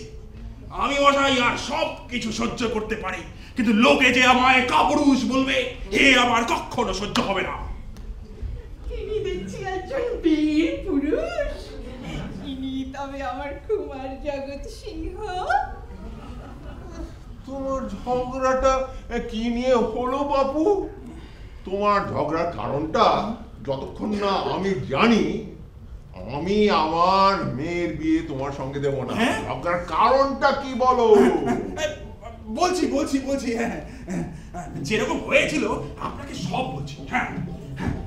তা একদিন আমার এক বন্ধু মানুষ আমাকে আর তার কিছু বন্ধু লোককে বাড়িতে খেতে ডেকেছিল। তো মশাই সেদিন বড় গরম হয়েছিল। তাই আমাদের সকলের মত হলো যে আমরা ওই ছাদের ওপর বসে খাব। আমার সেই ফ্রেন্ডের স্ত্রী হ্যাঁ উনি পরিবেশন করছিলেন। তা মশাই উনি ওই গরম ঘি আমার পাতে না ঢেলে আমার গায়ে ঢেলে দিয়েছেন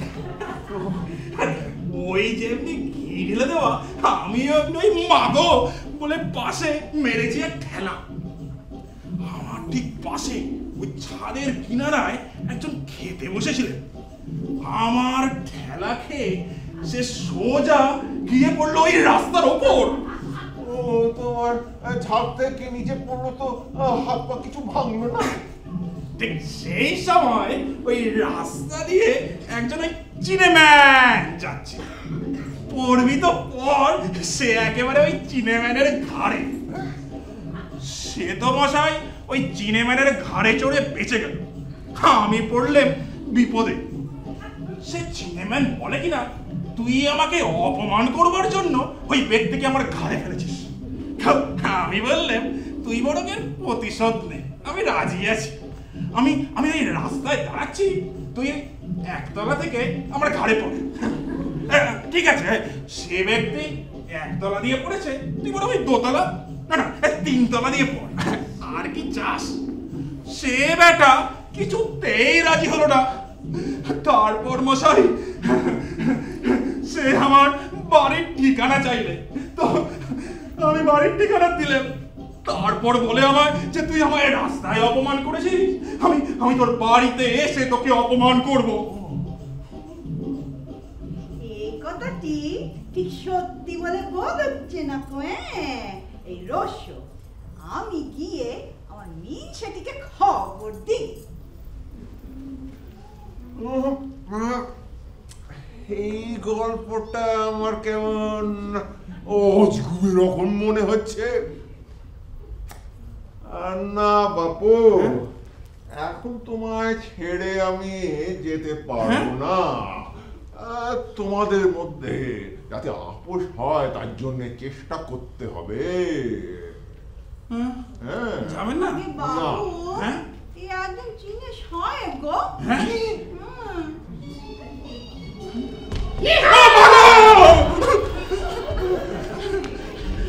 চুচু মাচু চুচু মাচু কি আশ্চর্য? আজ যা মনে মনে মতলব করছি। সব কিনা কাজে ঘটছে হ্যাঁ? না জানি আমার কি এক আশ্চর্য ক্ষমতা জন্মেছে। কিন্তু আমি তো এর কিছুই বুঝতে পারছি না। চুচু মাচু কাচি মিচি। আমি সমন্তর কাটা এই, থামো, থামো, থামো, থামো। এই ওকে মেরো না ওকে মেরো না। দেখো দেখো আমি সব বোঝাচ্ছি। আর ওকে মেরো না মাফ করে দাও।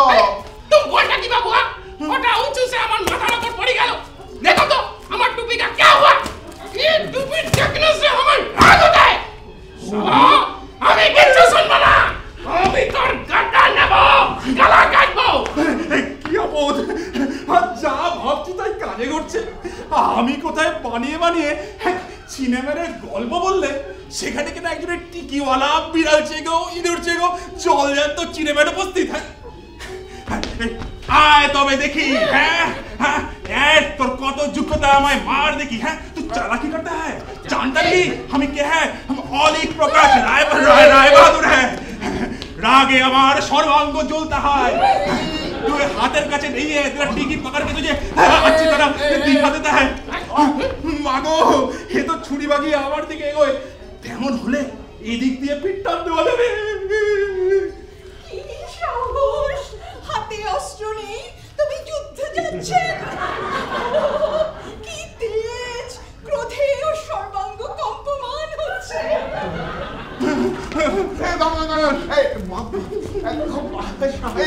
ও ছেলে মানুষ ও কিছু বোঝে না। ওকে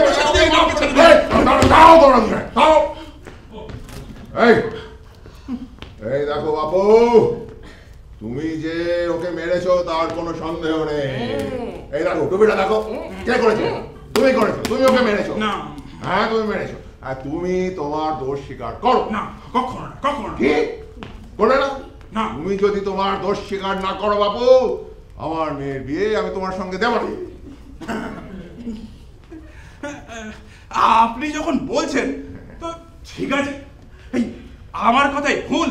আর ওর কথাই ঠিক হলো দেখো সাহেব ও নিজের দোষ কবুল করেছে ও না ঝগড়াতে কাজ কি বলো বলো বলো। চলো চলো আপোষ করে নিই এখন। बुड्ढा तुम बड़ा मजा खाओ आओ बाबू आओ आओ হ্যাঁ, এই, এই, এই। আহ বাঁচলেন যুদ্ধটা হলো না ভালোই হলো। যদি যুদ্ধে আহত হতেন তাহলে আমি আয়সার মতন ওর শিওরে বসে কত শুশ্রূষাই না করতেন তোমার চাকর বাকর এখন ডাকো। হ্যাঁ ওই সাহেবকে কিছু ভালো মতো খাইয়ে দাও। ওরে হারা! কানাই! ব্যাটারা সব গেল কোথায় হ্যাঁ? আমার সেই বন্ধুর বাড়ি সব কটা ওই সাগাত নিয়ে গেছে দু চার আনার লোক ব্যাটারা আর ফেলতে পারেনি। কিন্তু মশাই, সাহেবের খাবার তো সহজ নয়। ছুচো ইঁদুর ব্যাং সাপ এসব ছাড়া কি সাহেবের আর কিছু মুখে রুচবে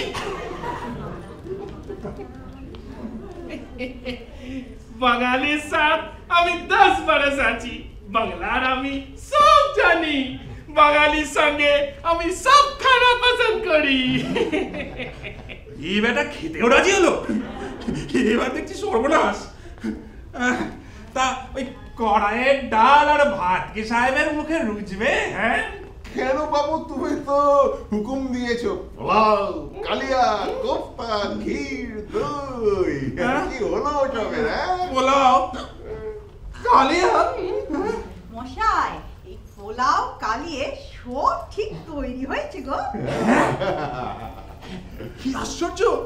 এর মধ্যে সব তৈরি হলো কোথা থেকে? সব কি আজ ভেলকিতে হচ্ছে? আমি তো এর কিছুই বুঝতে পারছি না। আমি যত মিথ্যা করছি সব সত্য হয়ে দাঁড়াচ্ছে। না তবে এবার অনর গল মিথ্যে খাওয়া যাক। এ, এসো সাহেব তোমায় এবার কষ্ট দিয়েছি। খাওয়া দাওয়া হোক। আসো আসো। যাক এইবার বেশ হলো। এবার দিব্যি সেবা দেওয়া যাবে। যাক সব ভাড়াগুলোই তো এক এক করে কেটে গেল। এখন খালি একটাই বাকি আছে এই সত্য সিন্ধু বাবু আমাদের বাবুর সঙ্গে দেখা করবার জন্য একেবারে উতলা হয়ে পড়েছে। একবার যদি দেখা হয়ে যায় তাহলে তো সমস্ত মিথ্যে কথা ধরা পড়ে যাবে। কি করা যায়? কেননা আমি জগদীশ বাবু সেজে চলে আসি। হ্যাঁ।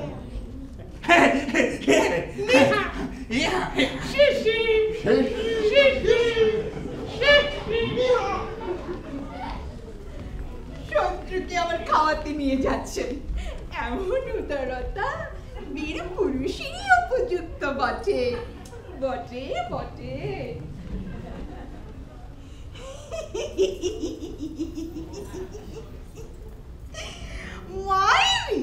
এত রঙ্গ জানে?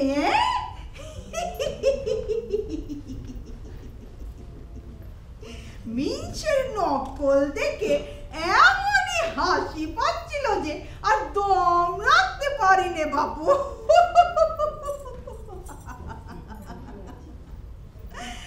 এখন একটু হেসে বাঁচি।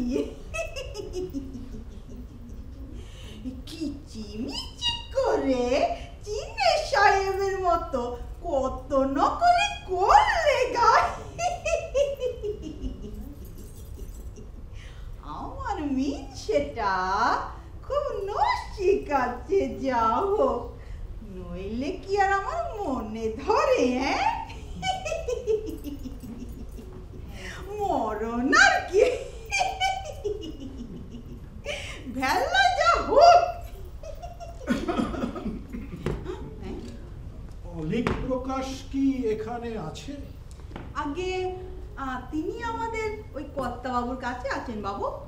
তোমাদের এই কর্তাবাবুর নাম কি বাছা? আমাদের কর্তাবাবুর নামটা আমার ঠিক মনে থাকে না গো বাবু। এই রসো একটু মনে করার চেষ্টা করি হ্যাঁ? প্যাট্রা। প্যাট্রা মরণ। প্যাটরা? সে কি বাছা? না না প্যাট্রা নয়। আহ, সিন্দুক সিন্দুক মরোজা উম, সে কি বাছা সিন্ধুক কি আহ, এই এইবার মনে পড়েছে গো বাবু আমাদের কর্তা বাবুর নাম হলো গিয়ে সত্যিকের সিন্ধু মরণ। সত্যি সিন্ধুক সত্যি সিন্ধু? ও সত্য সিন্ধু বুঝি? তা হবে। আমি অত জানি নে গো বাবু ওই তো ওই দেখো এই কর্তা বাবু এদিকেই আসছেন গো ওই তো। দাঁড়াও আসছেন।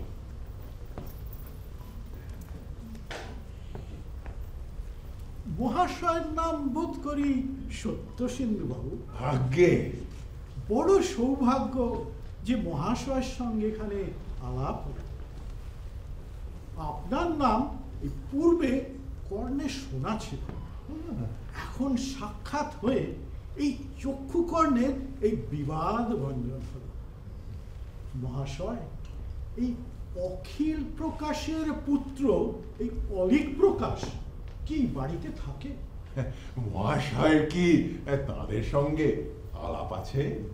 পূর্বে ওই অখিলের সঙ্গে আমার দেখাশুনো কিন্তু এই পঁচিশ তিরিশ বৎসর হলো কোনো দেখা হয় না ওই মধ্যে মধ্যে কখনো সে একখানা পত্র লেখে? এই মাত্র মহাশয়ের নাম? আমার নাম জগদীশ চন্দ্র মুখোপাধ্যায়। মহাশয়ের নাম জগদীশ চন্দ্র মুখোপাধ্যায়? আজ আমার কি সৌভাগ্য? আপনি এত বড় কষ্ট করে এই ক্ষুদ্র কুটিরে পদার্পণ করেছেন আপনার বন্ধু অখিল প্রকাশ, তার পুত্র অলিক প্রকাশের সঙ্গে আমার কন্যার বিবাহের কথা হচ্ছে। তার প্রতি মহাশয় যেরূপ অনুগ্রহ, তা আমি সব সব শুনেছি। অনুগ্রহ? আমি তো অলিক প্রকাশকে চোখেও দেখিনি। তবে ওর বাপের আমি একটা কর্ম করে দিয়েছি বটে। অখিল এখন ওই ওই মুর্শিদাবাদে সেরেস্তাদারি কাজ করে। সেরেস্তাদারির কাজ? তিনি যে মস্ত জমিদার তাহলে তার পুত্রর সাথে কি সত্যি আপনার কোনো আলাপ নেই? কাল আমি তার কাছ থেকে একখানি পত্র পেয়েছি। কিন্তু সেই এই পত্রের মর্ম আমি কিছুই বুঝতে পারছি না।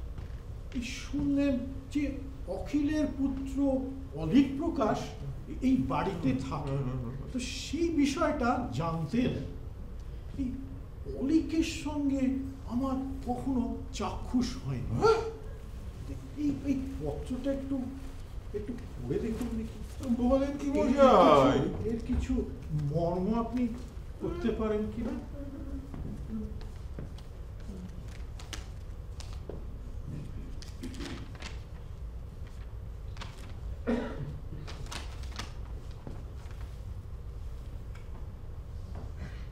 অদ্দেহ পুত্রের পত্রে অবগত হইলাম। যে মহাশয় নাকি বাঙাল ব্যাংকের দেওয়ানি পথটি তাকে দিবেন বলিয়া শিকার পাইয়াছে। এই সমাচারে অধীন যে কি পর্যন্ত আহ্লাদিত হইয়াছে, তাহা ভগবানই জানেন। মহাশয়, তবে অনেক প্রকাশকে বাঙাল ব্যাংকের দেওয়ানি পদ দেবেন বলে স্বীকার পেয়েছেন। সে কি মশাই? অলিক প্রকাশের সঙ্গে তোমার মোটেই কোনো দেখাশোনা নেই। তো আমি তাকে কর্ম কি করে দেব? বলেন কি মশাই অলিক প্রকাশ কি সর্বদা আপনার বাড়িতে যাতায়াত করে না? ওই না মশাই। আচ্ছা আচ্ছা আমি মশাইয়ের বাগান বাড়ির কথা বলছি। আমার বাগান বাড়ি এখানে কোথায়? আমার বাগান বাড়ি তো বালিগঞ্জে। উল্টো দিঘিতে আপনার বাগান বাড়ি নেই? কই না মশাই আমি তা তো জানি না। সেই বাগানে নাকি একটি প্রকাণ্ড বারো মেশে জাম গাছ আছে আর আপনি নাকি জাম খেতে খুব ভালোবাসেন। সেখানে নাকি আপনি আর অলিক প্রকাশ দিনরাত দাবা খেলেন। কি যে বলেন মশাই অলিক প্রকাশকে তো আমি চোখেও দেখিনি। আর যেসব জায়গার কথা বলছেন আমি তা তো কিছুই বুঝতে পারছি না। আর দাবা খেলা? আমি তো জীবনে কখনো দাবা খেলিনি। অলিক প্রকাশের মনে হচ্ছে সবকিছুই অলিক। বদমাইশ, হতচ্ছাড়া। শয়তান মিথ্যেবাদী আমাকে আগাগোড়া ঠকিয়েছে, আগাগোড়া মিথ্যে বলেছে। এমন মিথ্যেবাদী তো আমি দুনিয়ায় দেখিনি। আর যাই হোক মশাই, তার সঙ্গে আমি আমার মেয়ের বিয়ে কখনোই দেব না। ওই দেখুন, এই লক্ষ্মী ছাড়াটা এখানে আসছে। ওকে আপনি এখন আমার পরিচয় দেবেন না। কি করে দেখা আপনি এখানে হ্যাঁ? মার্জনা করবেন। আপনার সঙ্গে পূর্বে সাক্ষাৎ হয়েছে কিনা ঠিক স্মরণ হচ্ছে না। হ্যাঁ, হ্যাঁ কৃষ্ণনগর থেকে আসা হচ্ছে বুঝি? আমি এখানে কাজকর্মের চেষ্টা কাজ। তো জগদীশ বাবুর সঙ্গে কি মহাশয়ের আলাপ আছে? তার সঙ্গে আমার আলাপ নেই হ্যাঁ? বেশ লোক। দেখতে যদিও বিশেষ ভালো নয়। একটু ওই কুজো রকম নাকটা খাদা আর দাঁতগুলো উঁচু উঁচু। তবে তবে বেশ বেশ ভালো লোক। দোষের মধ্যে ওই দু একটা মিথ্যে কথা বলে। হ্যাঁ তা আজকালকার বাজারে ও দোষটিকার নেই বলুন। হে, এদিকে হ্যাঁ আমার কেমন একটা অভ্যেস হয়ে গেছে যে ভুলেও একটা মিথ্যে কথা আমার এই মুখ থেকে বেরোয় না। তাতে আবার লোকটা খুব ইয়ার। কাল রাতে তো একসাথে আর করলেন। তবে তো কাল থেকে আজ উনি অনেক বদলে গেছেন। কি করে মশাই? হ্যাঁ? ওর কালকে তুমি একত্র আহার করলে আর আজ তুমি চিনতেও পারছ না। হ্যাঁ? ইনি জগদীশ বাবু কলকাতার জগদীশ বাবু হ্যাঁ? দুঃখের বিষয় এনাকে তো আমার ঠিক স্মরণ হচ্ছে না। স্মরণ না হতে পারে কিন্তু ইনি যে জগদীশ বাবু তার সম্বন্ধে কোনো সন্দেহ নেই। না না আমি তাও স্বীকার করছি না। তবে আমার বলবার অভিপ্রায় এই যে এনার সঙ্গে আমি কাল রাতে আহার করিনি হ্যাঁ? তবে এনার নাম জগদীশ বাবু হলো কি করে? তা অবশ্যই আমি কি করে বলব হ্যাঁ? তবে হ্যাঁ, এনার পরিবারে যদি ওই জগদীশ নামে আর কেউ থাকেন তাহলে হ্যাঁ, আমার নামে আমার পরিবারে তো আর আছে আছে মনে করুন।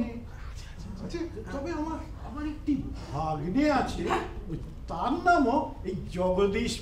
তার নামও জগদীশ। বটে এবার ঠিক হয়েছে। আপনার এই ভাগ্নের সাথেই আমার আলাপ আছে। আর কাল রাতে আপনার এই ভাগ্নের সাথেই আমি আহার করেছি। আমার যে ভাগ্নেটির নাম জগদীশ সে তো এই তিন বছর ধরে দেশের বাইরে। সে তো পশ্চিমে পালিয়ে গেছে। আম হলো কি উৎপাত? আপনি তবে জানেন না। আপনার এই ভাগ্নে এখন কলকাতায় এসেছেন আপনার ভয়ে লুকিয়ে বেড়াচ্ছে। এই তার সাথে কাল রাতেই আমার সাক্ষাৎ হয়েছে। বাবু এই জগদীশ বাবু এসেছেন গো।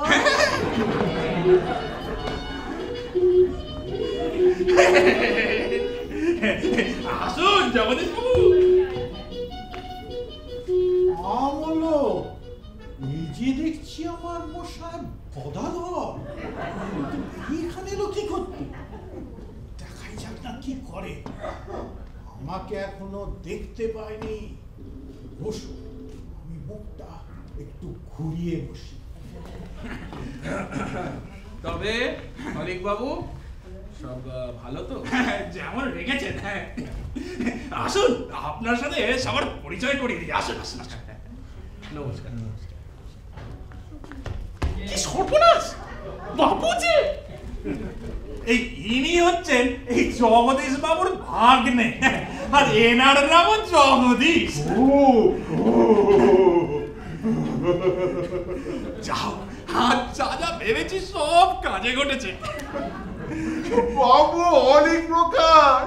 আমি আর তোমাকে সন্দেহ করব না।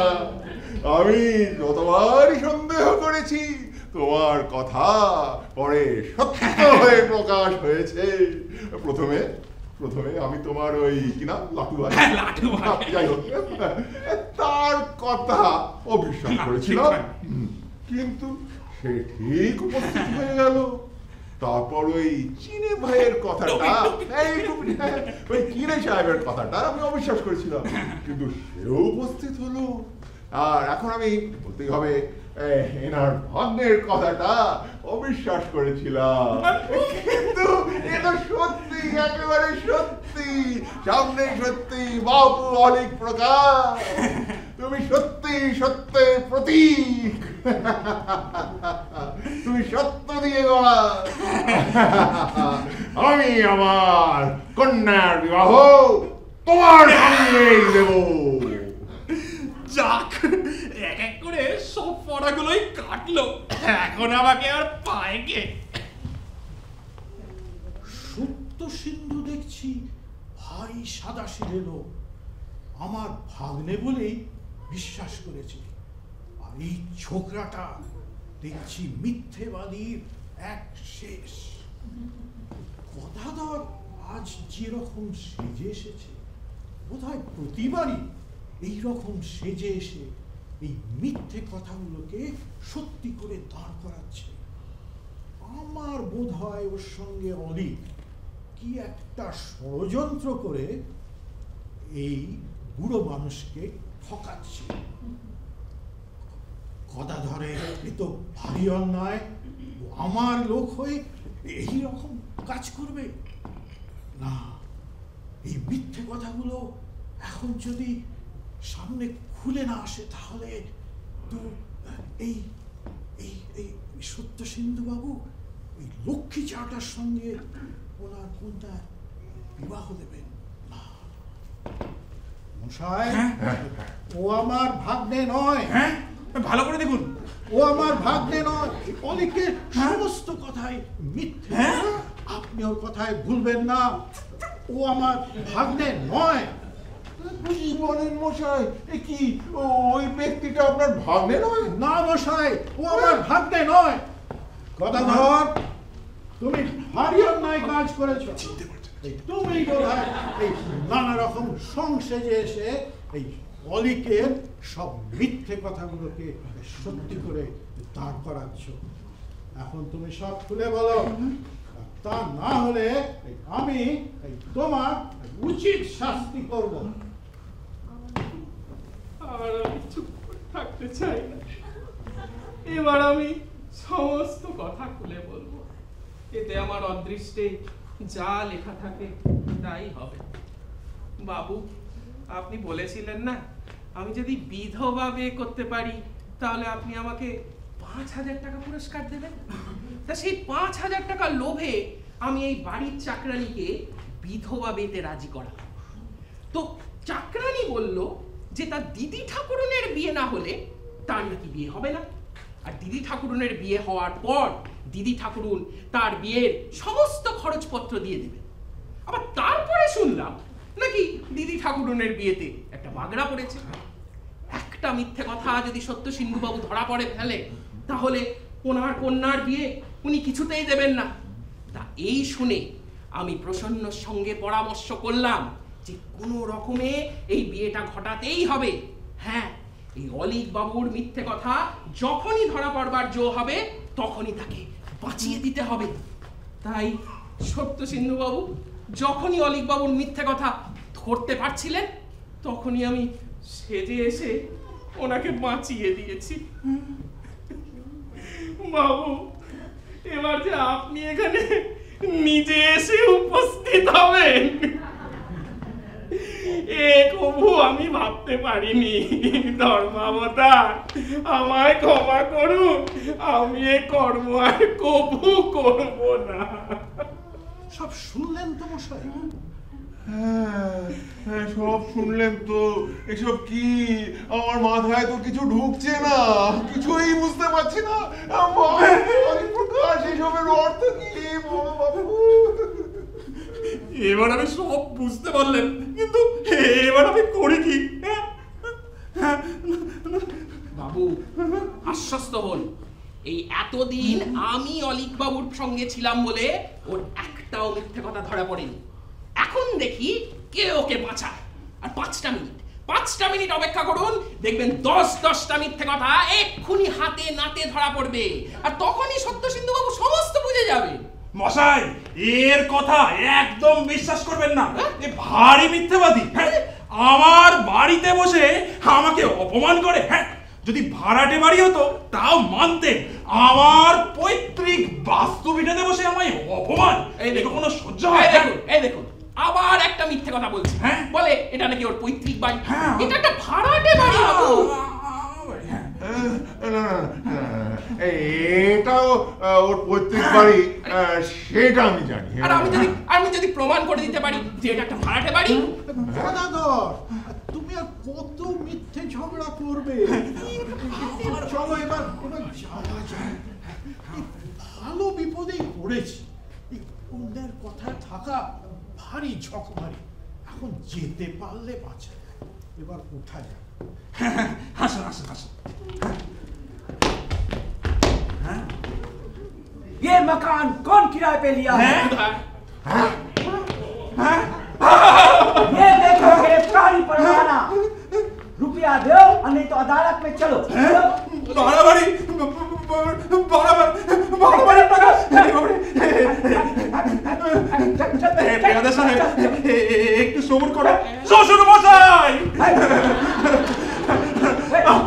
আমায় বাঁচান ভাড়ার টাকাটা দিন আপনার জন্যই তো বাড়ি ভাড়া করেছি এইবার কোচ মজা বাবু আমি তাহলে এবার আসি হ্যাঁ আমি আসি আর কেন যথেষ্ট হয়েছে এটা তো হবে ভাড়াটে বাড়ি ভাড়াটে বাড়ি। আমাকে একেবারে ঠুকিয়েছে। বাজি। মিথ্যাবাদী বাজি। সূচো মোটা আমি আপনাকে অবিশ্বাস করেছি। আমি তাতে কিছুই মনে করি। না। এরকম আপনি প্রতারিত হয়েছিলেন? তাতে সকলই সম্ভব। পেয়াদা সাহেব একটু সবুর করো। পেয়াদা সাহেব বড় ভালো লোক। শ্বশুর মশাই! এই যাত্রায় রক্ষা করুন। এমন কর্ম আর কমু করব না। তুই আমাকে শ্বশুর মশাই শ্বশুর মশাই করে আর ডাকিস রে তোর বিয়ে আমি আমার মেয়ের সঙ্গে কখনোই দেব না। সূচক লাগার ওই ভাড়ার টাকা কটা দিয়ে? করে দিন না। মশাই আমি ওকে এক পয়সাও দিচ্ছি না। যেমন করো তেমনি ফল। আমি ওকে আমার মেয়ের সঙ্গে বিবাহ কখনোই দেব না। আমার প্রাণেশ্বর বন্দী হয়েছেন ওর সঙ্গে আমার বিবাহ দেবেন না। এই যে প্রণয়ের অপমান প্রাণ আমি আর রাখব না। আরে আরে মারিস রে বাবা মারিস রে তোকে পয়তুস করে দেবো। শ্বশুর মশাই কিছু করলেন না? এবার কি ওই জেলে বসে শ্বশুর বাড়ি করতে হবে। আমি বিরহ যন্ত্রণায় মারা যাব। এই দুঃসময় একবার দেখা দাও। প্রেয়সী প্রেয়সী। আমি পিতার সম্মুখে এই জগতের সম্মুখে। মুক্ত কণ্ঠে বলছি এই বন্দী আমার প্রাণেশ্বর আমার কণ্ঠরত্ন। যিনি ভিন্ন আমি আর কাউকে প্রতিজ্ঞে বরণ করব না। যদি এর সঙ্গে আমার বিবাহ না হয় তাহলে এই বঞ্চন করব। করো কি করো কি করব একদম করো না ছি, ছি, ছি, ছি, ছি। যাও আমি ওকে খালাস করে দেবো। লক্ষ্মী এইরকম কর্ম করো না।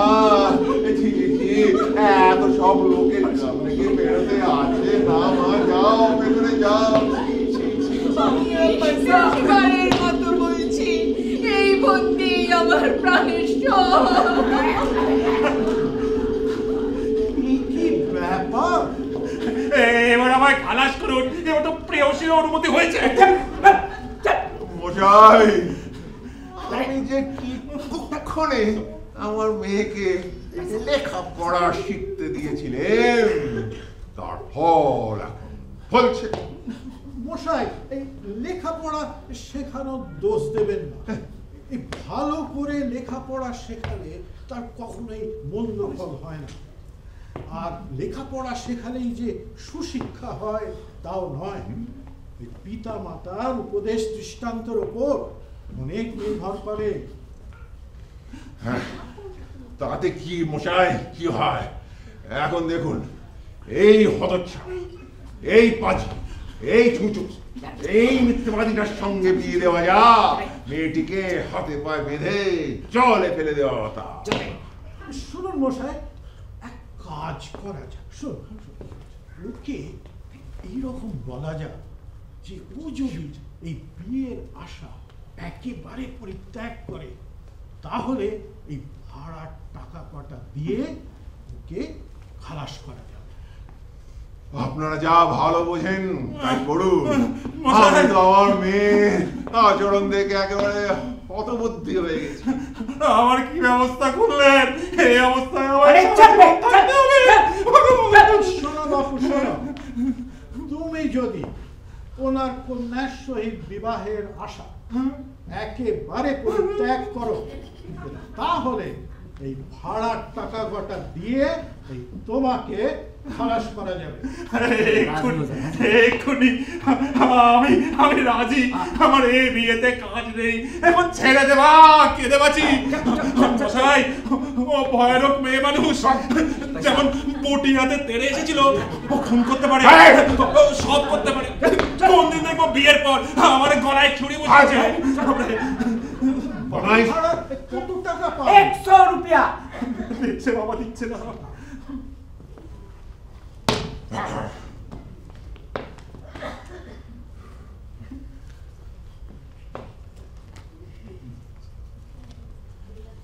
এই লো একশো টাকার একটা নোট দিচ্ছে। আমি বাবুকে ছোড় দাও। কেমন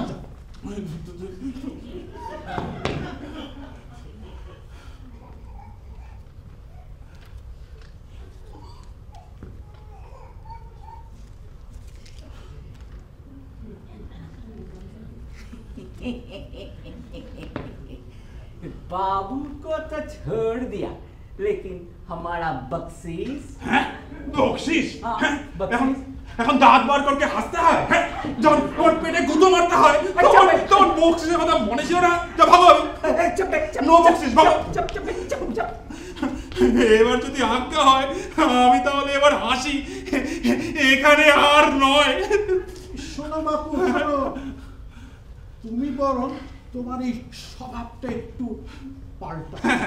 অনন্তর অনর্গল মিথ্যে কথা আর বল। দেখেছ তো? মিথ্যে কথা বললে আর তোমার বাবাকে বলো তোমার এই স্বভাবটা পাল্টে গেলে তোমার এই অলিক নামটাও যেন বদলে মশাই, আমার ঘাট হয়েছে। আমি আমি নাক্ষত দিচ্ছি। এমন কর্ম আর কবু করব না। তবে মশাই, মাফ করবেন। এই অলিক নামটি আমি বদলাতে পারব না। বাপ মা আদর করে নাম রেখেছে অলিক। আপনারা পাঁচজনেই বলুন, সে নাম কি বদলানো যায়? না, কবু না কবু না। যদি আজ্ঞা হয় তো আমি আবার আসি।